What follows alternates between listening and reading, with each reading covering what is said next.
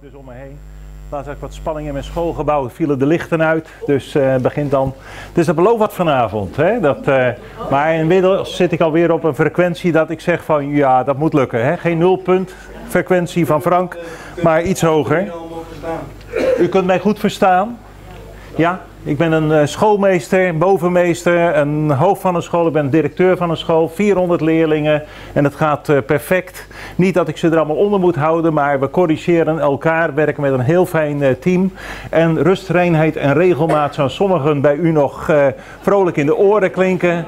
Daar hebben wij nog een aantal R'en en andere S'en en noem maar op aan toegevoegd. Hè. Respect met elkaar, samenwerken, veiligheid, noem maar op. En dat gaat heel erg fijn. we hebben een hele fijne school. Vandaag hebben ze me even moeten missen, want gisteren ben ik al naar Castricum gegaan. Heb ik even een try-out voor deze lezing gegeven. Dit is natuurlijk niet de lezing van, uh, van Zaandijk van, ik meen twee, drie jaar geleden. Deze is beter hoor. Dit is, u krijgt natuurlijk het allerbeste, dat snapt u wel. mij werd gevraagd of ik een, niet een gewone graancirkellezing zou willen geven, maar dat we wat verder gaan. We gaan vandaag letterlijk out of the box. Dus uh, voor de dames die, waarvan de linker en her, rechter hersenhelft perfect functioneert. Hè, en de creativiteit, dames, hebben jullie een voorsprong op de heren. Wij zijn wat standvastiger, rationeler en noem maar op. Maken wat meer aarde. Maar uh, we gaan out of the box. Dus hier zit een graancirkel in, dat kan ik u al vertellen. En dat zult u straks meemaken. We gaan het hebben over frequenties die u misschien nog nooit heeft ervaren. dus we gaan echt ver uh, over het, uh, de grenzen heen die wij beseffen. En we gaan het natuurlijk ook hebben over hele aardse dingen, graancirkels en wat dat met ons doet. Um, ik, ga, ik, ga, ik laat even een filmpje zien, introductie.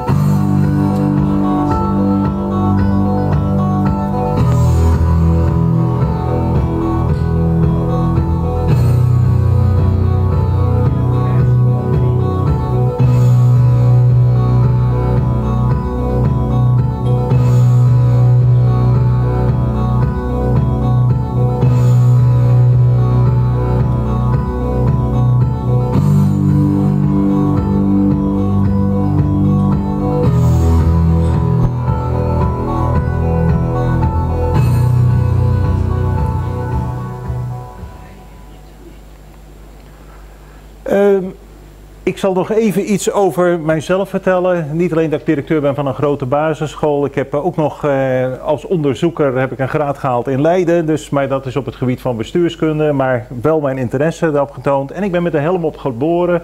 Dus uh, ik... Uh, ik zie nog iets meer dan een ander. En ik zeg altijd, uh, alleen wat ik zie, dat geloof ik. Maar ja, mijn blik is wat ruimer. En uh, juist die combinatie, dat maakt het uh, zeer interessant. ik ben tien jaar geleden naar Engeland gegaan. Er is ook een heel verhaal, zit er aan vooraf. Maar dat virus, dat, ja, dat, dat ving mij. En uh, Jeannette Ossebaard en Bert Jansen hadden mij er al voor gewaarschuwd. Als je één keer daardoor gegrepen bent, dan laat het je niet meer los. En misschien prikkel ik u vanavond daartoe. misschien ook niet. En zegt u, nou meneer Wiersma, het is ontzettend leuk, maar ik geloof er geen snars van. Dat zei ik ook in 2003. dus, want Bert Jansen hield een prachtige lezing in Brummen. En ja, dat, dat was geweldig. Anderhalf uur. En toen vroeg hij, zijn er nog vragen? En ik was de enige dus die mijn vinger opstak. En toen zei hij, en Theo? Nou ja, ik zeg, hoe worden ze gemaakt? Ja, dat was toch eigenlijk wel de hamvraag. En toen zei hij, ja, dat weet ik niet. Ja, en toen begon ik natuurlijk. Hè. Toen begon eigenlijk mijn zoektocht van, ik wilde het weten. Ik heb alles uitgespit. Ik heb me zelfs opgesloten in mijn hobbykamer, had ik een bed staan. En ik ben gaan zoeken, zoeken, zoeken. En op een gegeven moment ben ik met een vriend, uh, zijn we naar Engeland gegaan. En uh, daar vonden we het ook niet in één keer, maar het tweede jaar heb ik het gevonden. En het derde jaar ontdekte ik het. En, uh, en, en daarna ging het verder en verder. Ehm, ja, ik ben een jongen, dus niet als Janet Ossebaard en Bert Jansen. Bert Jansen zit veel meer ook in het analyseren van graancirkels. Hoe zit dat in elkaar? Jeannette is ook een, natuurlijk, dat zeg ik wel eens, de goddess van, van de graancirkelwereld. Hè. Die, die doet het ook uit professie. En ik ben een, ja, half professioneel met mijn ene baan en de andere kant uh, half professioneel met deze baan. En uh, ik, uh, ik ben een, ja, een, een helderziende. Weertsma, Weert noemen ze me al, een beetje vreemd hè, daar in de landen. Maar ik zie ook een heleboel en er gebeurt ook een heleboel. Dus er worden portals geopend. Als u na afloop zegt, ik, ik, ik heb een leuke avond gehad, ik heb leuke beelden gezien, dan is mijn avond geslaagd. Als u na afloop zegt, ik geloof er niets van, maar het heeft me wel tot denken aangezet, dan is mijn avond ook geslaagd. En uh, als u zegt, nou ik, ik, ik, ik ga er helemaal voor, ja dan is het natuurlijk super geslaagd. Maar dat ligt helemaal aan u. Als ik in het publiek had gezeten, dan zou ik me eerst willen laten overtuigen en dan zou ik gaan nadenken thuis en dan zou ik misschien nog eens even verder gaan kijken. Uh, drie encounters, 1994, 2005, 2009. Bewust even niet die van mij meegenomen, die krijgt u volop te zien vanavond. Uh, 1994, er is maar één man die daar echt dus uh, het heeft opgeschreven en dat is Colin Andrews.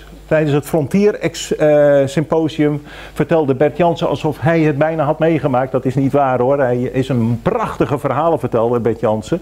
Maar uh, Colin Andrews heeft dit opgetekend in uh, 2005 ongeveer. Heeft daar een boek over geschreven en dat heet Light Quest. En het volgende gebeurde in 1994. Een man en een vrouw, Julia en Edward en daarbij nog een zwager, klommen op de hoogste West-Europese door mensen gemaakte piramide. Piramide van de lichten, zeggen ze wel. Silbury Hill. Zij klommen erop en uh, hadden een prachtig uitzicht. Ik ben er zelf ook op geweest, ben er ook op uh, geklommen geweest, maar ja, met wel angst in mijn lijf, want de politie die, uh, je krijgt een fikse bekeuring, want het is een archeologisch monument. Maar goed, er kwamen drie lichtbollen vanaf West Kennet Long Barrow, dat is een grote grafheuvel hier achter deze heuvel. En die kwamen dus langzamerhand deze, deze, langzamerhand deze weg af en klommen de heuvel op. En zij zaten daar en zagen het volgende. Grote lichtbollen met eronder piramides, triangles, met daarin kleine wezens, lichtwezens. Deze wezens uh, kropen uit de piramide, hielden elkaars handen vast en probeerden mentaal te communiceren met deze mensen. Uh, daarna kropen ze weer in die piramides, gingen ze terug, dus uh, de weg af richting Marlborough. Oh, wacht even, sorry. Richting Marlborough. Uh, een plaats die hier uh, ligt en daar ligt uh, Kalm. En, en daar kwam een auto aan en op een gegeven moment smolten die lichten samen en vlogen ze de berm in. Die auto reed voorbij, daarna scheiden de lichten zich weer en gingen ze weg. Dit verhaal durfden zij niet te vertellen. Ze zeiden, als we dit vertellen, dan worden we echt voor gek gezien. Wat er wel gebeurde, en dat zie je met heel veel van die verhalen, er gebeurde daarna heel veel in dat gezin. Dus uh, met klopgeesten, uh, nare dromen, angst, zweet, noem maar op. Totdat ze op een gegeven moment Colin Andrews tegenkwamen, ook een van de grote onderzoekers ter wereld op dit gebied, wat graancirkels en, en UFO's, aliens aangaat. En daar vertelden ze hun verhaal. Een volgend verhaal. Dat is uh, ja, Mike Boef. Ik heb hem zelf uh, mogen ontmoeten. Mike Boef, ingenieur, heel uh, integere man, hardwerkende man. Samen met een partner ingenieursbedrijf. En hij had altijd de gewoonte om op zijn mountainbike te zitten om 7 uur s morgens. En dan lekker een stukje door, door de downs te, te fietsen.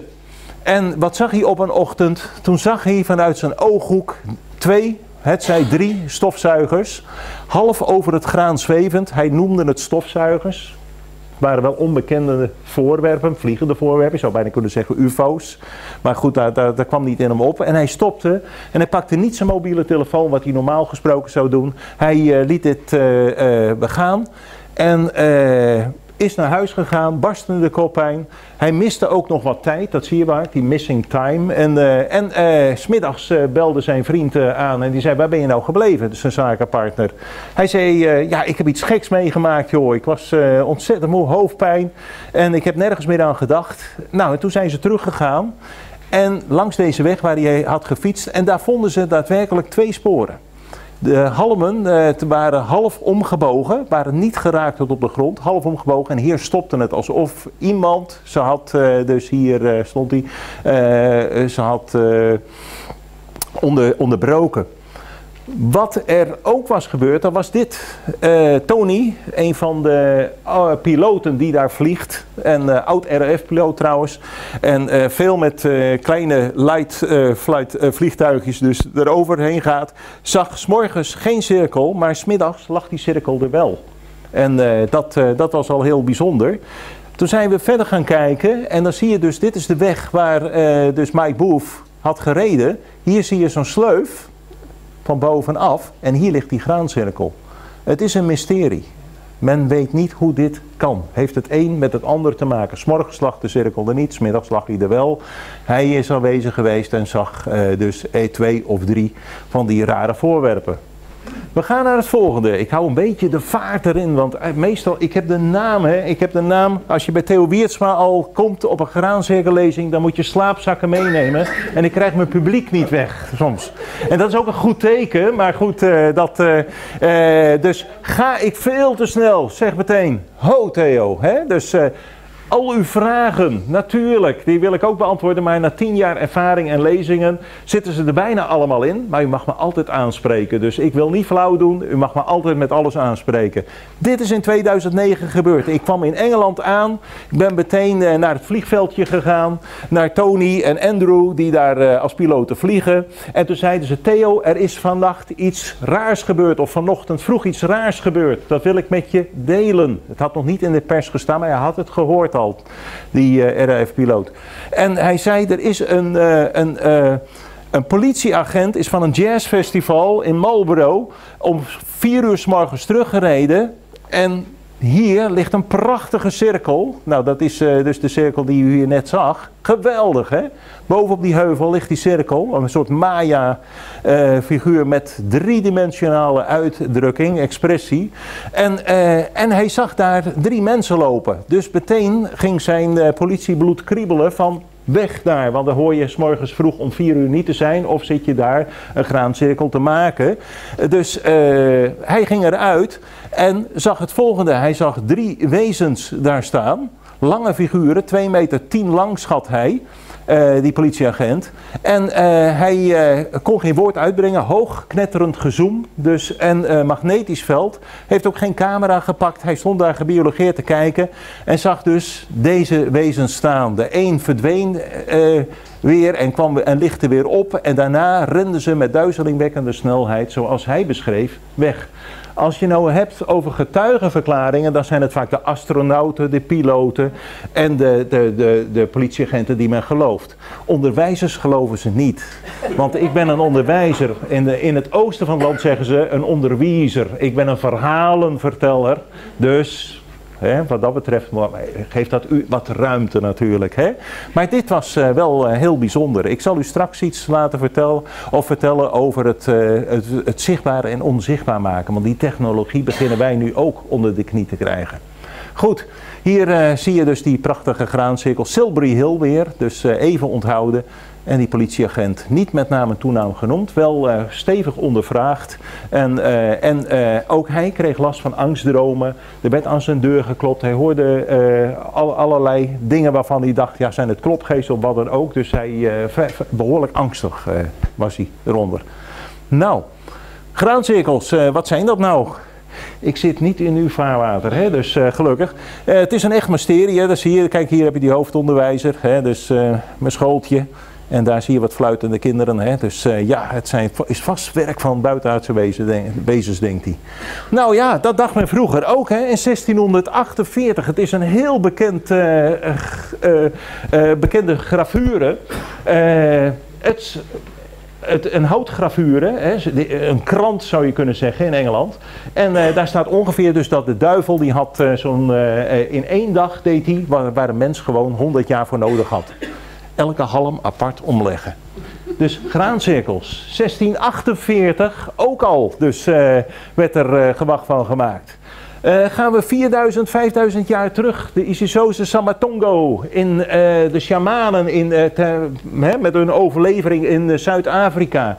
De Isisoze Samatongo, de tekens van de goden gaan terug naar deze tijd. De boeren in Nederland, want in Nederland zijn ook honderden gewascirkels, dus grascirkels, maiscirkels, eh, graancirkels, wortelcirkeltjes, zou je kunnen zeggen, wortelplantcirkeltjes, eh, eh, ijscirkels zijn er verschenen. En eh, daar heeft men het over, de engeltjes hebben weer kermis gevierd. Nou weet ik, in Noord-Holland houdt men van kermissen, vieren. Hè, mijn, uh, mijn tante kwam uit Horen en mijn moeder is geboren en getogen in Medeblik. En uh, dus uh, ik weet er wel iets van. Maar in het oosten houden ze daar ook wel van, van kermis vieren. Maar die boeren die hadden het daarover. In Avery had men het er een 90-jarige man in 2005 al over. Die zei als kind, als kleuter heb ik in cirkels gespeeld. In 815, het is overvloedig wat ik allemaal vertel, heb je de bisschop van Lyon, Agobard, en die had het over de Magoniërs, die met hun Magonische stormen het graan kwamen oogsten. Dus uh, er is heel veel, over de hele wereld is dat eigenlijk een bekend uh, fenomeen. Komt het alleen voor in graan? Nee, het komt niet alleen voor in graan. Je hebt ook boomcirkels. Oeh, ik denk dat ik iets, uh, Frank, het is wel vast, maar Ga eens even kijken. Dat is dus de techniek, dat knipt hij eruit. Dat, uh, of hij laat het erin als blooper. Hè. Ja, het is een beetje lastig. Uh, ben ik weer online? Ja. Uh, boomcirkels. Dus je ziet dat hieronder dus de stam behoorlijk verbogen is. Dat zou kunnen zijn, dus doordat de cellen plotseling daar uh, explosief gegroeid zijn. Er is uh, uitzetting bijvoorbeeld van, ja, van, van, van, van uh, de vloeibare stof binnen de plant. toen ik dat vertelde, toen zei een emeritus hoogleraar van de Wageningse Universiteit, die zei, kul, flauwekul. Dat kan niet. Nee, maar daarom vertel ik u het u ook, want we gaan out of the box denken. We gaan proberen dat even wat wij weten los te laten, onze technologie los te laten. En gaan we ons uh, dit maar eens proberen tot ons te nemen en kijken wat dat van waar is. Schijndel, Brabant, 2012. U ziet het geweldig hè. We gaan naar Rusland, een kleuterschooltje. Hier zie je de schommel nog. En dat is al jaren eerder is dat uh, overkomen. Sneeuwcirkels. Daar is een verklaring voor gevonden. Kijk maar. Dat zou hem kunnen zijn. Dus uh, dat vind je op internet, hè? Ja. Maar je hebt ook ijscirkels. En even serieus, het ijs is hier in Canada 1 centimeter dik. Dit is laatst nog even in het nieuws geweest, uh, u weet dat, maar dit is al uh, een paar jaar eerder uh, voorgevallen in Engeland. En dan zou je kunnen zeggen een onderwaterstroming en die zorgt ervoor dus dat zo'n ijsplakkaat perfect rond. Dus zo ronddrijft. Ja, het zou kunnen. En eh, zandcirkels, moet u niet denken aan eh, collega Richard van Rijswijk, die maakt prachtige mandala's met zand. Maar dit zou dan spontaan ontstaan kunnen zijn, weet ik niet. Maar dit vind ik wel interessanter, want de uh, mensen onder u die een beetje kennis hebben van de gulden snede en de Fibonacci-reeks en noem maar op, ziet hier dus uh, de gulden snede spiraal. En dan zie je dus op een gegeven moment dat hier allemaal hobbeltjes zijn, maar hier allemaal kuiltjes. En geen voetsporen. En dat is heel erg knap, want het klopt namelijk precies. Houd dat even vast. Het klopt tot op de millimeter precies. En dit vond ik bij mijn tandarts. Dus ik moest daarheen, helaas. Meestal ga ik er alleen maar heen als ik kiespijn heb. Maar dat even terzijde. Hoeft niet in de film. Maar uh, het is wel zo dat, uh, dat uh, dit onder water is gefilmd. En men schrijft dat toe aan de mannetjes kogelvissen die de vrouwtjes proberen te lokken. Met een heleboel vraagtekens erachter. Klopt dat wel of niet? Ja, ik weet het niet. Dat, dat is heel bijzonder. En je vindt meer van dit soort dingen terug. Hoe is het zo mooi te maken? We gaan niet naar Nederland. Dat was gisteren een vraag op een lezing in Castricum. Ja, hoe, hoe zit het met de Nederlandse cirkels? Nou, die zijn er natuurlijk een heleboel. We gaan nu even naar Engeland. dus, en dan gaan we ons focussen op Zuidwest Engeland. En dat is echt een, een gebied waar veel graancirkels voorkomen. Waar komt dat door? Dat zal ik u laten zien. Dit is het gebied. Boven heb je Avebury, die moet u even vasthouden. Dan heb je Silbury Hill. En hieronder, dus bij die alien, dus daar vind je Stonehenge. Hier heb je de Salisbury Plain. En daar vind je ontzettend veel cirkels. En Stonehenge eventjes. Ik mocht erin zijn nadat ik een lezing in Engeland had gegeven. Mocht ik met een groep mee. En u ziet, het is een week na dus, uh, de zonnewende. Dus de Hillstone, daar komt, uh, het is een soort zonnetempel zou je kunnen zeggen. Hè? En uh, bij de Hillstone komt dan de zon op. En nou is hij net even naast. Waarom een week later? Omdat mijn schoonmoeder precies op die 21ste jarig is. En toen mocht ik niet weg. Dus zo is het ook weer. Hè? Je hebt ook familieverplichtingen. Heet dat. Avebury, waar Stonehenge een kerk is, zegt men, is Avebury een kathedraal. Dat zal ik u zometeen ook laten zien, want daar vond je meer stenen. Elke steen was zo'n beetje 60.000 ton, 60.000 kilo zwaar. 30 centimeter in de grond, heel hoog. Je hebt ook de Barbers Stone en die zit ongeveer, uh, wacht even, die, die moet aan de over kant van de weg zit. Ik zit even in spiegelbeeld hier. Barberstone, er was een uh, man, dus die uh, kapper. En uh, toen viel die steen om. En na heel veel jaren hebben ze dus wat er over was weer teruggehaald. Dus dat Barberstone. Silbury Hill, heb ik het over gehad. Het is de piramide met de lichten. Uh, als we naar Heilo gaan, dan hebben we daar het kerkje met de lichten. Dus uh, de put met de lichten. Dus dat bedevaartskerkje. Hè, dus dat kent u wel. Als je naar het oosten gaat, waar ik woon, dus in Ruurlo alweer 17 jaar. Komend vanuit Leidschendam hebben we de overtocht gemaakt. Uh, daar heb je de Witte Wieverkuil, heet dat. Dus de kuil met de lichten. Gaan we iets noordelijker naar Drenthe, dan heb je het uh, Hunnebed van Loon. En dat is het Hunnebed met de lichten. En nog voordat er auto's waren, zag men heel veel lichten. Het heeft met aardmagnetisme te maken, eh, samen met een kosmische energie. Zou dat eh, plaats hebben kunnen vinden, bij volle maan bijvoorbeeld. Nou, dit ben ik met een blokkerstok. Ik was uh, nog niet zo rijk in 2006. Ik ben nou nog niet rijk hoor, trouwens moet ik zeggen. Maar dat ik kon vliegen de hele tijd. Want elke vlucht ben je behoorlijk wat geld kwijt. Maar ik wilde poleshots maken. En een poleshot doe je dus op een blokkerstok. Daar plaats je een camera op en je gaat 5 meter de lucht in en je krijgt ongeveer een beeld waar je in bent. Als ik met u een graancirkel inga, dan zegt u bij de tweede keer, nou het was heel erg leuk Theo, maar het lijkt op die vorige. Ja?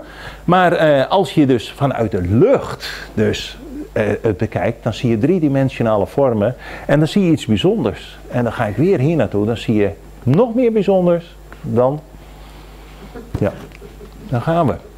Dit is ook leuk, die cirkel was net ontstaan bij Avery. En uh, mensen met klankschalen, met trommels, en noem maar op. Uh, alles gebeurt daar. Je heel veel verschillende soorten energieën, zal ik u laten zien. Ik met mijn kristallen schedel, denkt u een kristallen schedel, heeft u dat meegenomen? Ja, ik heb de halve huisraad meegenomen. Kristal kent u wel. Kristal geeft een bepaalde trilling af. En, eh, en dat vind je in een computer. Je vindt het overal in terug, kristal. Wijze koningen hadden een amethyst, dus een amethystschedel. Hadden ze de amethyst dus in hun kroon, gaf wijsheid. Hè? Dus uh, nou, Willem heeft niet altijd een kroon op, begrijp ik. Maar goed, uh, heeft Maxima om hem hè, van een beetje dom af te helpen. Het is, ik probeer er maar af en toe maar wat aan. Hè? Ja, u snapt het, hè? soms even met een knipoog. Uh, een schedel, als je er een vorm van maakt, dus bekende schedelbouwers, dit is uh, door Rico gemaakt, een hele bekende, maar je hebt er ook nog andere, uh, dan gebeurt er daadwerkelijk iets met het energieniveau van dus het kristal. En uh, dat uh, kunnen ze bewijzen door middel van, Karin Tach heeft dat gedaan met uh, fotonencamera, piezo, elektriciteit, noem maar op. Frank Bonte weet daar een heleboel denk ik van. Dat is een echte techneut, ik ben dat niet. Ik ben meer een gevoelsmens. Maar als je dus gewoon kristal heeft een energielevel van 0 tot 20, deze zit nu op 101. Is het een oude schedel? Ja, hij is miljoenen jaren oud, want elk kristal is miljoenen jaren oud. Is het een Maya schedel? Nee, het is geen Maya-schedel, maar ook die zijn net zo oud als deze schedels. Alleen deze is wat later gemaakt. Maar hij is enorm sterk. Hij is in Glastonbury geweest, heeft UFO-contact gehad en noem maar op. U mag hem straks niet optillen zoals ik dat doe. Hij zal het wel fijn vinden, maar hij mag wel aanraken. Dus kijken, wat doet het met u? En als u zegt, ik vind het eng, dan moet u hem niet aanraken. Dat, uh, u moet het niet, hè? dus uh, het mag. Dus, uh, en ik ben heel benieuwd naar uw ervaringen. Dan uh, gaan we naar de mooiste graancirkel pub ter wereld. De eerste, de Bar Chin. En uh, ik ben uh, natuurlijk ook daarin geweest, maar ik ben ook hier op de High Tea geweest. Dat was heel erg leuk, heel erg nieuwsgierig. En die mensen waren ook erg nieuwsgierig. Wat komt hij hier doen? Nou, ik zeg, ik bezoek graancirkels. Graancirkels, wat zijn dat? Dus dan krijg je dat verhaal wat ik nu aan u vertel. Hè? Ik zeg, by the way, hier in dit veld liggen er vier. Ja. Oh, dan moeten we ook maar eens een keer gaan kijken. God, dat hadden we nooit gedacht, zeiden ze. Nou, in de pub ben ik ook geweest. En dan dronk ik een heel vies biertje. Namelijk een kroppie. En elk jaar doe ik dat toch maar weer. Want ja, ik vind dat dat heeft zoveel te maken met, uh, hè, met, met waarom we daar zijn. Dus uh, de Old Speckled Hen uh, of een ale, dat, dat, dat, dat, smaakt beter. Maar goed, of deze nou echt vanuit de graancirkel komt, ik denk het niet hoor. Maar hij smaakt me niet lekker. Maar je moet hem wel drinken. Nou, dit celletje ongeregeld, dat uh, zijn ook vrienden. Uh, hè? Dus mensen die plezier maken bij de pub in, in Engeland, dus de Red Lion. En geweldig. De entourage alleen al, de manier hoe men dus met elkaar omgaat. Prachtig. En we kregen daarna een stort buiten, zijn we allemaal naar binnen gegaan. En daar werd de Wild Rover, hè? dus werd daar gezongen en gespeeld. En dit ben ik voor de Red Lion. Dat is de grootste spookpub ter wereld, zeggen ze. In ieder geval staat in de top 10. Flory is daar, huis, houdt daar huis, zeggen ze. Nou, dat is niet waar. Goed, daar kan ik wel het nodig over vertellen. Maar daar drink ik allemaal vloeibaar graan. Dus ik blijf steeds ook in datzelfde zitten, maar na een lange werkdag. We gaan serieus. Is er wat met mij aan de hand of is er... hè? Of is er wat echt gaande? En er is ook echt wat gaande. Want u kent dat wel.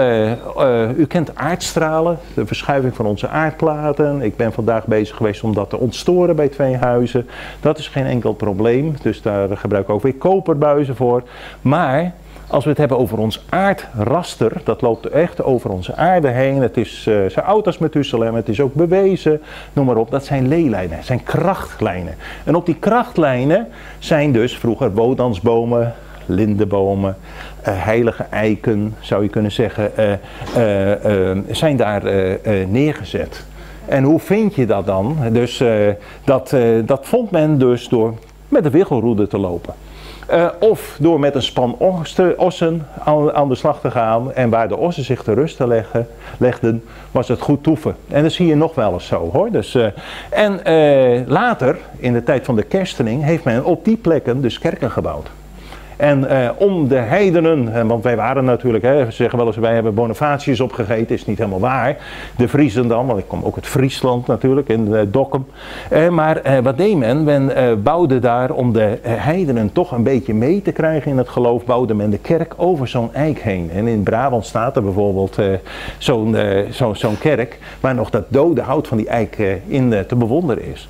Goed, in het landschap waar wij ons nu in gaan begeven, heb je dus uh, twee grote belangrijke leelijnen. De Michael-lijn en de Mary-lijn. En dat is maar een naam. Je kunt ook zeggen de Ying en de Yang-lijn. Het is maar een naam die we eraan geven. Maar rondom deze lijnen vinden, vind je heel veel graancirkels. Dus het heeft er toch mee te maken met het krachtenveld van de aarde. En om u een beeld te geven hoe men dat vroeger deed. Men had die lijnen omkaderd door allerlei megalieten. En dan ziet u ook hoe groot het is vergeleken met Stonehenge. Dit is Avebury.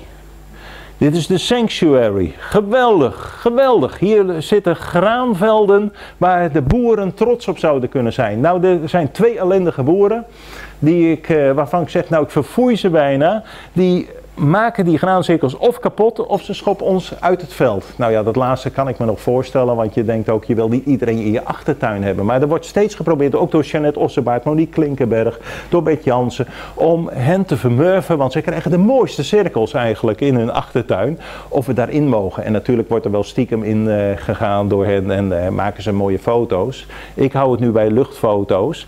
Maar uh, dit is natuurlijk een energetisch punt, hier om Avebury ook. Prachtige cirkels. En hier Silbury Hill, daar loopt eigenlijk als je goed kijkt hè, die Maryline door. Hè, dus, uh, en daar omheen vind je dus uh, ook prachtige cirkels en lichteffecten, UFO-activiteit, noem maar op. Hier zie je het nog een keer even in Avebury hoe dat eruit zag. Uh, het was ook niet om daar te wonen, het was meer een soort bedevaartsoord, een processietocht werd er dus bij, dus de zonnewende, noem maar op, hè, dus en, in de winter, hè, dus de ommekeer, kwam men daar tezamen.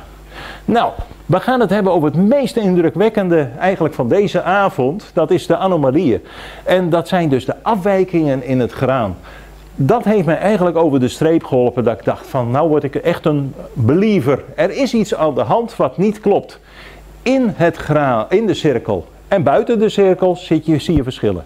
In de cirkel geëxplodeerde knopen of verlengde knopen. Jong graan dat verlengt en oud graan zie je vaak dat er een explosie heeft plaatsgevonden. Waardoor door plotselinge hitte zou je kunnen zeggen als we het zo beredeneren. En eh, verwrongen stengels. Dode vliegen of dode insecten hè, kom je daar tegen. Vreemde substanties kom je daar tegen. En dan is het, lijkt het op siliciumdioxide, maar er is door uh, een uh, man uit het oosten uh, in, ne in Nederlandse cirkels bijna een halve kruiwagen van dit eruit gehaald, van de witte poeder. En ik heb het vorig jaar uh, in, de, in de winter, heb ik dat ook rond deze tijd uh, mogen ervaren bij mensen. Dus uh, dat daar mosjes lagen met allemaal afdrukken, zelfs pootafdrukken in hun achtertuin bij een boerderij met dat witte spul erin. Ik heb het niet meegenomen, want ik wist wat dit was. die kleine bolletjes, als je die goed gaat bekijken onder vergrootglas, dan zie je daar stria op verschijnen. En dat betekent dat kan alleen maar bij rond de 3000 graden hitte. Maar waarom is die cirkel niet verder verbrand? En uh, dit kun je namaken ook in een, uh, in een, uh, in een laboratorium, net als dit. Dit zijn die kristallen, hè, echte kristallen. En dat bestaat voor een groot gedeelte dus uit koolstof. Dat kun je namaken, maar het is wel een dure grap voor een student die net zijn studiebeurs probeert goed te benutten. Hè? Dus hè, als je dat dus een cirkel maakt en je gooit dat erin. Wat je, uh, er ontstaan ook weer nieuwe kristallen op. Ik heb één kristal van uh, Jeannette Ossebaard meegekregen. En ik had hem op mijn nachtkastje, want ze zei Theo je bent helderziend, dus jij kunt kijken wat gebeurt daarmee.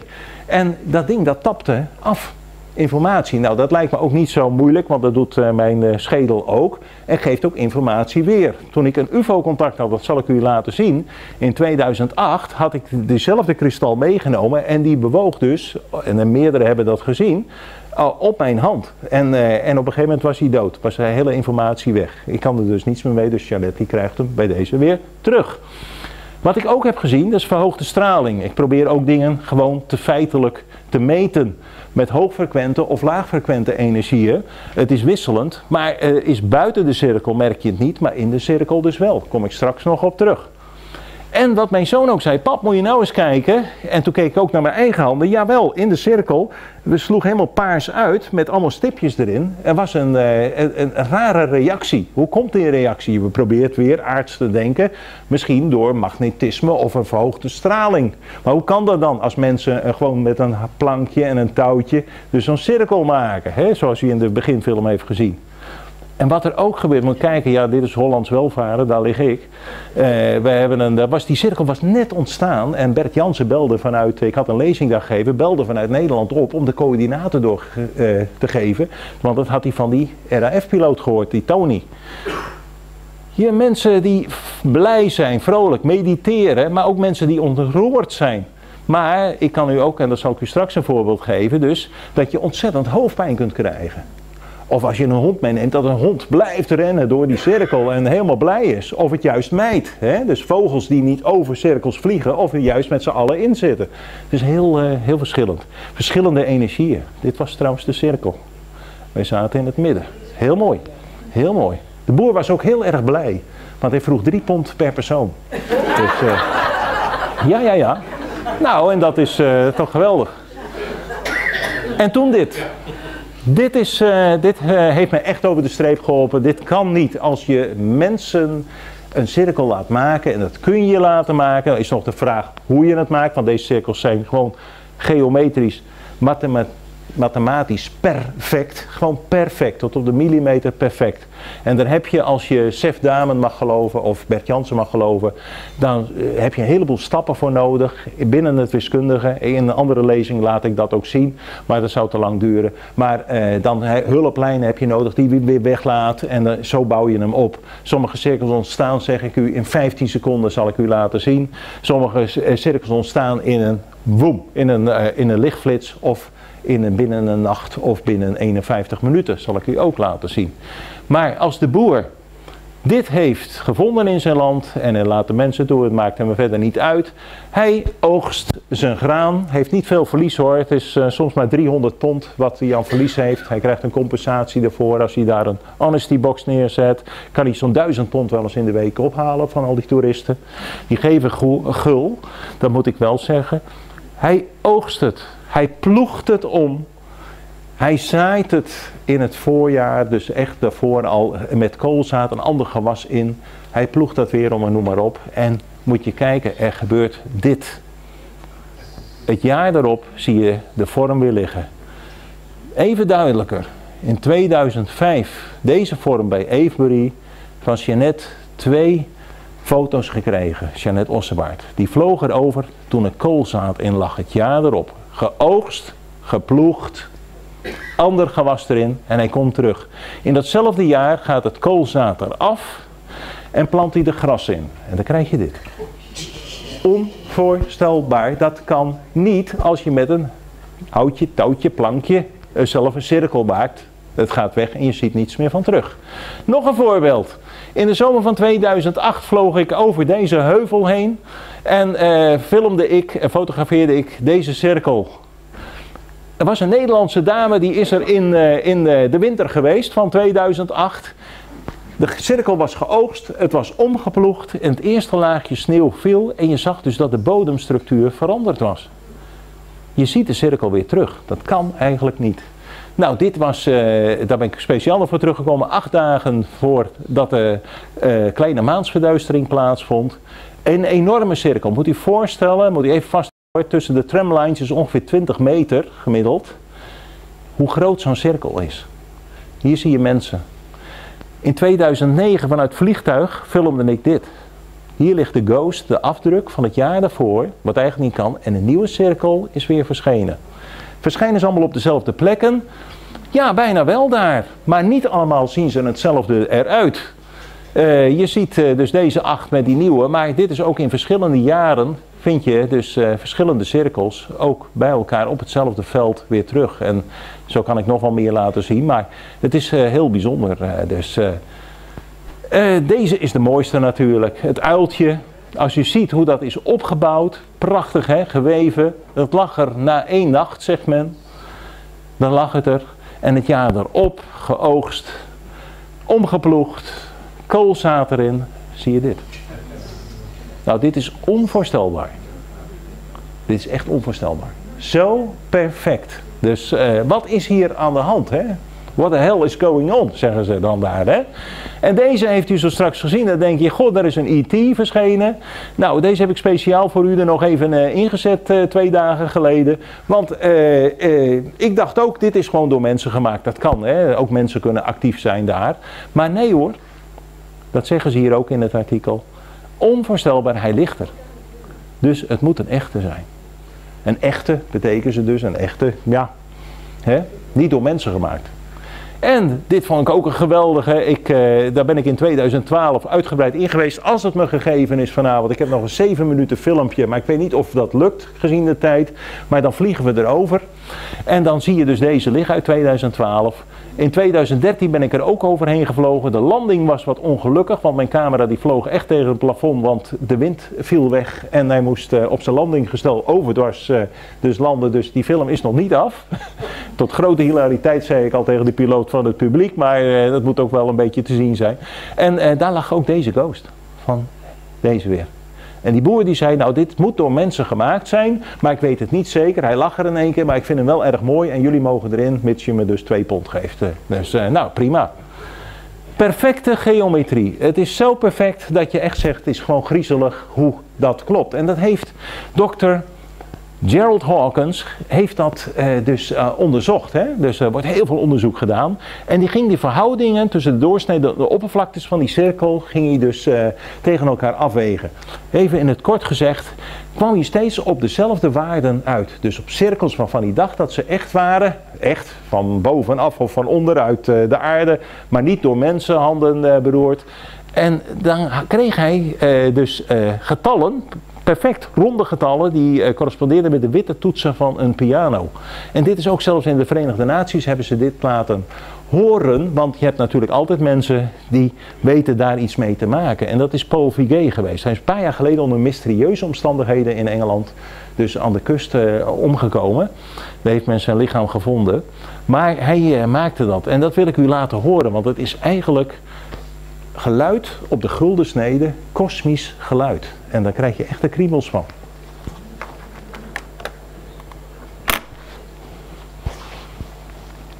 En dat is deze cirkel.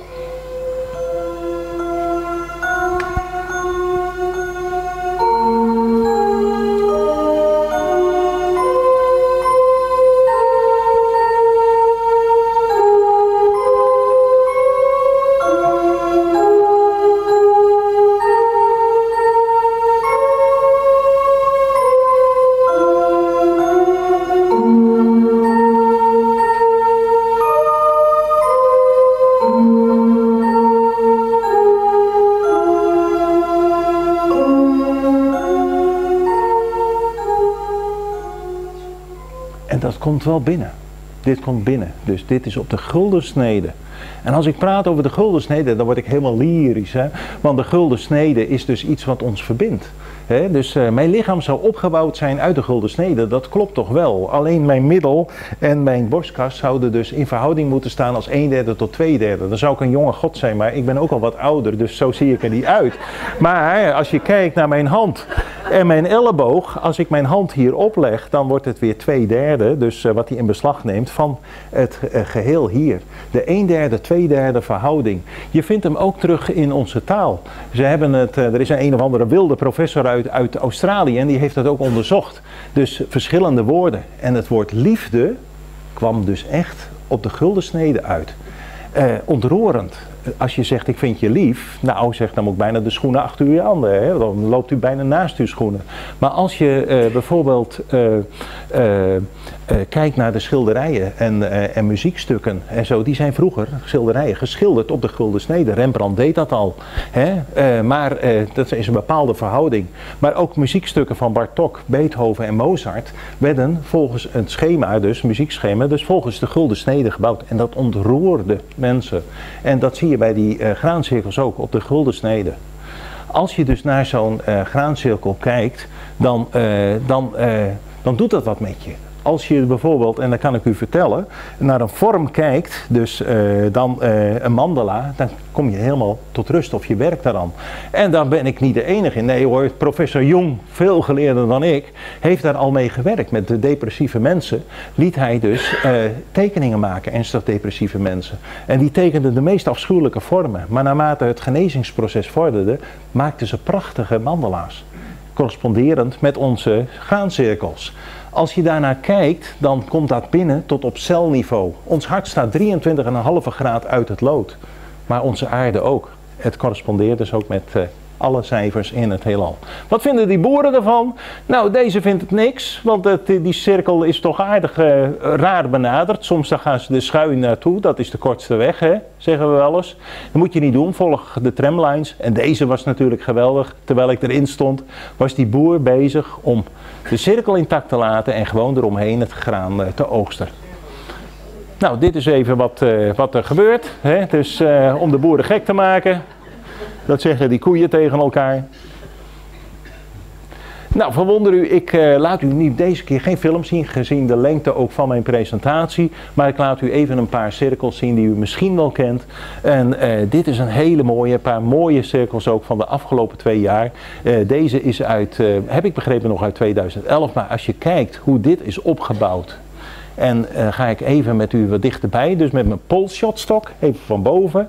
Dan zie je dus dit. Geweven helemaal. Geweldig hoe dat is opgebouwd. Hè? En dan deze.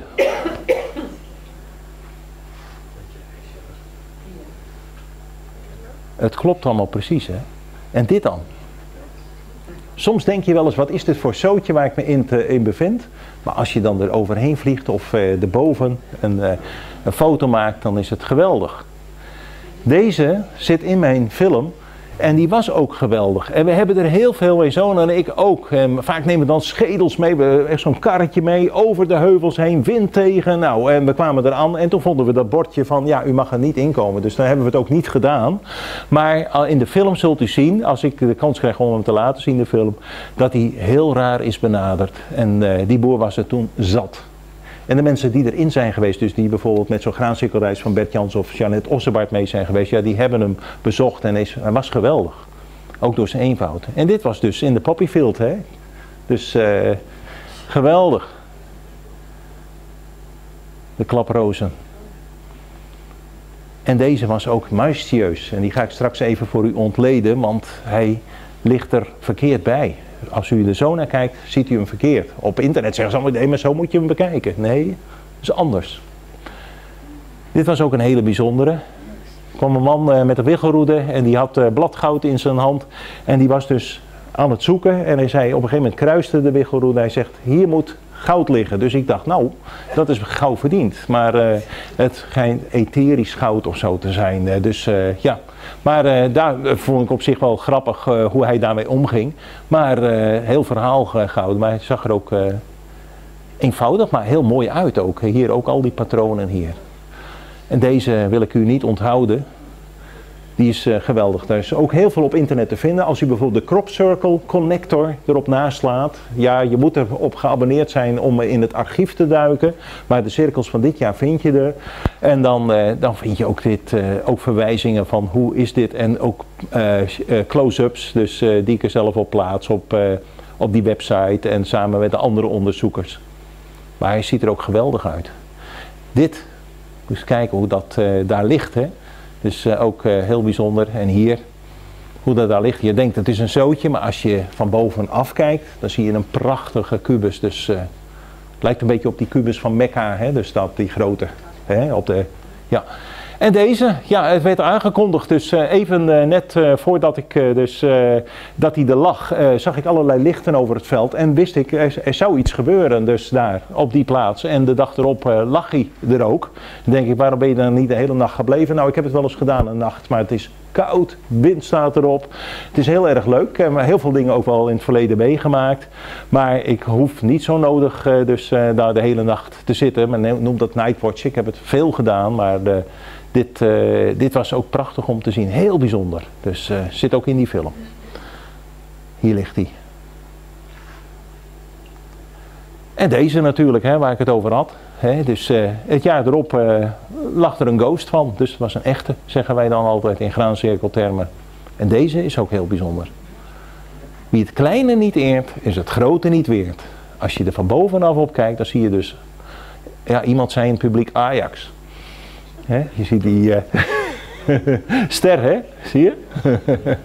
Hier, zie je dat? Die driehoeken, ja. Maar dat is jonge lui hoor. En dit is natuurlijk, ja, dat is bij die twee boertjes hè, van, van, van de sanctuary. Ik word hier zo jaloers op, want dit zijn krachtige tekens. Dit is heel erg krachtig. Dit komt binnen. Ja, dit, dit vind ik geweldig. Maar ja, je mocht er niet binnenkomen. Er is er natuurlijk wel een geweest die dacht, ik ga eens op het veld van de buren. En dan neem ik die oversteek even snel, hè. Nou, wie weet was het Bert Jansen, je weet het maar niet. En uh, dit uh, is ook leuk. Nou is minder leuk, want de boeren die uh, haalden veel cirkels eruit. Dan denken ze, er komen geen toeristen erin. Dit is op 7 juli 2013 is dit gebeurd. Jammer, jammer, jammer. Prachtige cirkel. Maar acht dagen later lag hij ergens anders. Dus een paar kilometer verder. Precies dezelfde. Lag hij. En weet je wat die boer zei tegen mij? Die zei, Theo, niemand wil me geloven. En ik vertel het ook niet tegen mijn collega boeren. Maar daar vlogen lichtbollen over mijn veld, s'morgens, woem. En hij lag er. Hij zegt, niemand gelooft mij. Nou ja, ik zeg, ik heb heel wat meegemaakt, dus uh, ik kan het aannemen. Hè? Ik moet het ook natuurlijk eerst zien, maar als je dan dit bekijkt, en dan ga ik ze even naast elkaar zetten, dan zie je dus dat het perfect dezelfde cirkels zijn kilometers uit elkaar. Groot, het is uh, eh, 50 meter, door, ja 40, 50 meter doorsneden ongeveer. Ja. En het is ook mooi om uh, te bekijken. Ja, ik heb, ze, ik heb niet alles meer erin zitten, maar, de, hè, maar je kunt heel veel beelden op internet terugvinden. Erover. Deze ziet er ook prachtig uit. Deze. En dan deze tegenover West Kenneth Long Barrow. Ik was in Nederland. Hè, we, zijn er al redelijk vroeg heen gegaan. Cirkel seizoen kwam zeer laat op gang. En ik was in Nederland en ik ben dus met mijn vrouw uh, naar krachtplekken in Duitsland gegaan. Want die wilde niet meer naar Engeland. En we zijn in Neuschwanstein geweest bij dat witte kasteel. En ik op internet kijken, ja hoor. En daar was ze toch eindelijk. Ik heb een hele tijd hier ook uitzicht uh, proberen te houden op het veld. Hier lag ook al iets. Hier was ook activiteit. En daar lag deze. Maar hij heeft er maar heel kort gelegen, want de boer die vond dat het graan rijp was. En het moest eruit.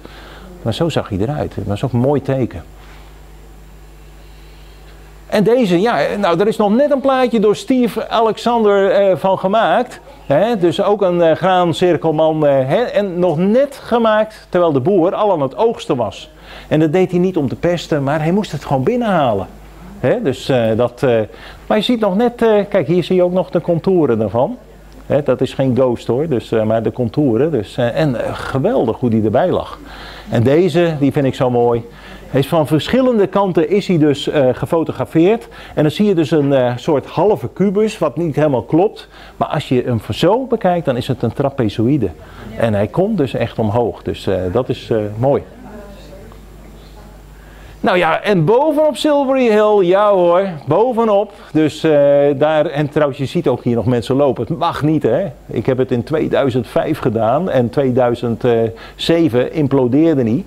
En er was een 12 meter diep uh, gat was er ontstaan. Dat hebben ze toen nog gerepareerd. Maar het was dus, dus toch nog wel eventjes uh, even tricky. Dus, maar dat wisten we niet. Maar hierboven zie je dus ook dat er een cirkel is ontstaan. Nou, dat is ook eigenlijk niet verwonderlijk. Hè? Dus... Nou, en uh, dit was op het eind natuurlijk. Hè? En wat doen ze daar dan mee? Maken ze er broodjes van? Ja, ze maken er broodjes van. Krijg je daar last van, vragen ze. Dus geef je dan licht of zo? Nou, het wordt zo vermengd. Hè? Dus daar hou, je heel erg weinig van uh, over, lichamelijk gezien. En dit, uh, nou ja, je het wel hè. Even kijken hoe slim we zijn. En dan uh, uh, lichtbollen. En dan zit ik even te kijken naar uh, wie is hier de voorzitter of de leading factor, het leidend voorwerp met lange of korte ei, dat bent u.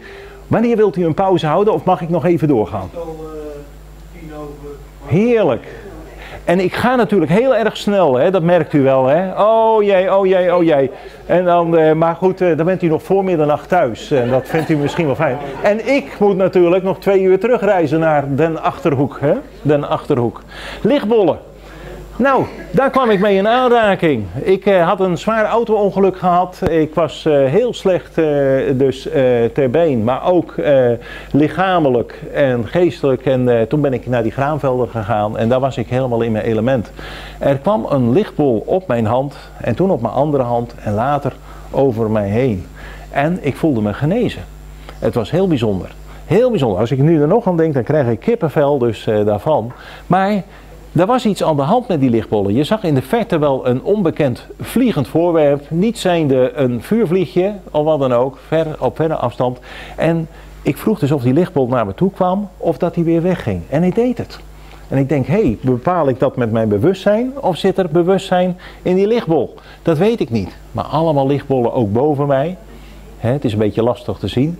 En zo ben ik daar bezig. En meestal met meerdere fotografen, ook langs de weg. En dat mensen dat ook zien. Dus wat er gebeurt. Dus niet alleen op de digitale foto. Maar daar kun je veel meer mee zien dan wat je met je oog ziet. Dus uh, dat, uh, er is ook veel meer te zien dan wat wij met ons oog zien. Hè? Infrarood, röntgen en noem maar op. Dus uh, je kunt in je lichaam kijken naar de botjes. Met, dat kunnen ze fotograferen, maar wij kunnen het niet zien. Maar ik zie heel veel dingen wel en ook heel veel mensen om me heen zien hetzelfde gebeuren. En uh, hier ook nog even, dit is in, uh, in Nederland weer. En een paar jaar geleden in Castricum vroegen ze ook of ik een demonstratie wil geven na afloop. En, uh, en dat heb ik gedaan. Het licht boog om. Er zijn mensen die hebben het gezien. En er zijn mensen die hebben het pas op de foto gezien. En ik verdween op een gegeven moment bijna in het licht. En uh, vroeg ook of ik extra mijn best wilde doen. En dat heb ik ook gedaan. En uh, dus dat zie ik wel gebeuren. En dat is dus de magnetische energie. Op deze manier uh, geef ik ook healing. Dus dat, ik maak gebruik van lichtwezens. Of met Dr. William Lang werk ik nu dus uh, samen uit Engeland. Hij is lang overleden, chirurg. En, uh, en uh, doen we astrale operaties of hè, dat, dat soort dingen. niet natuurlijk vol zoals dit, want dan verbrand je iemand. Maar dit is een beetje hoe ik ben. Een beetje weird, weird, vreemd, zeggen ze in Engeland. Was ja. het ook vochtig weer? Wat nee, dit was niet vochtig weer. Nee, dat zou mooi zijn, want als het had geregend, dan was zeker succes verzekerd. dan hadden we allemaal. Uh, en als je net onder de douche vandaan komt en je maakt voorzichtig een foto, dan heb je dat ook. Maar het was uh, geen mistig weer en het was uh, dus perfecte omstandigheden. Maar wel op een leelijn, een krachtlijn. En dat is ook natuurlijk ideaal. Hè? Maar ik heb op school ook wel foto's gemaakt overdag met een mobiele camera. En dat er allemaal lichtbolletjes om die kinderen waren. Dat, uh, ja, dat, is, dat, uh, dat ziet er geweldig uit. Maar dat is ook de energie. Op een gegeven moment liepen de kinderen achter de lichtbolletjes aan door een huppel heen. Dus de lichtbolletjes uh, leiden de kinderen.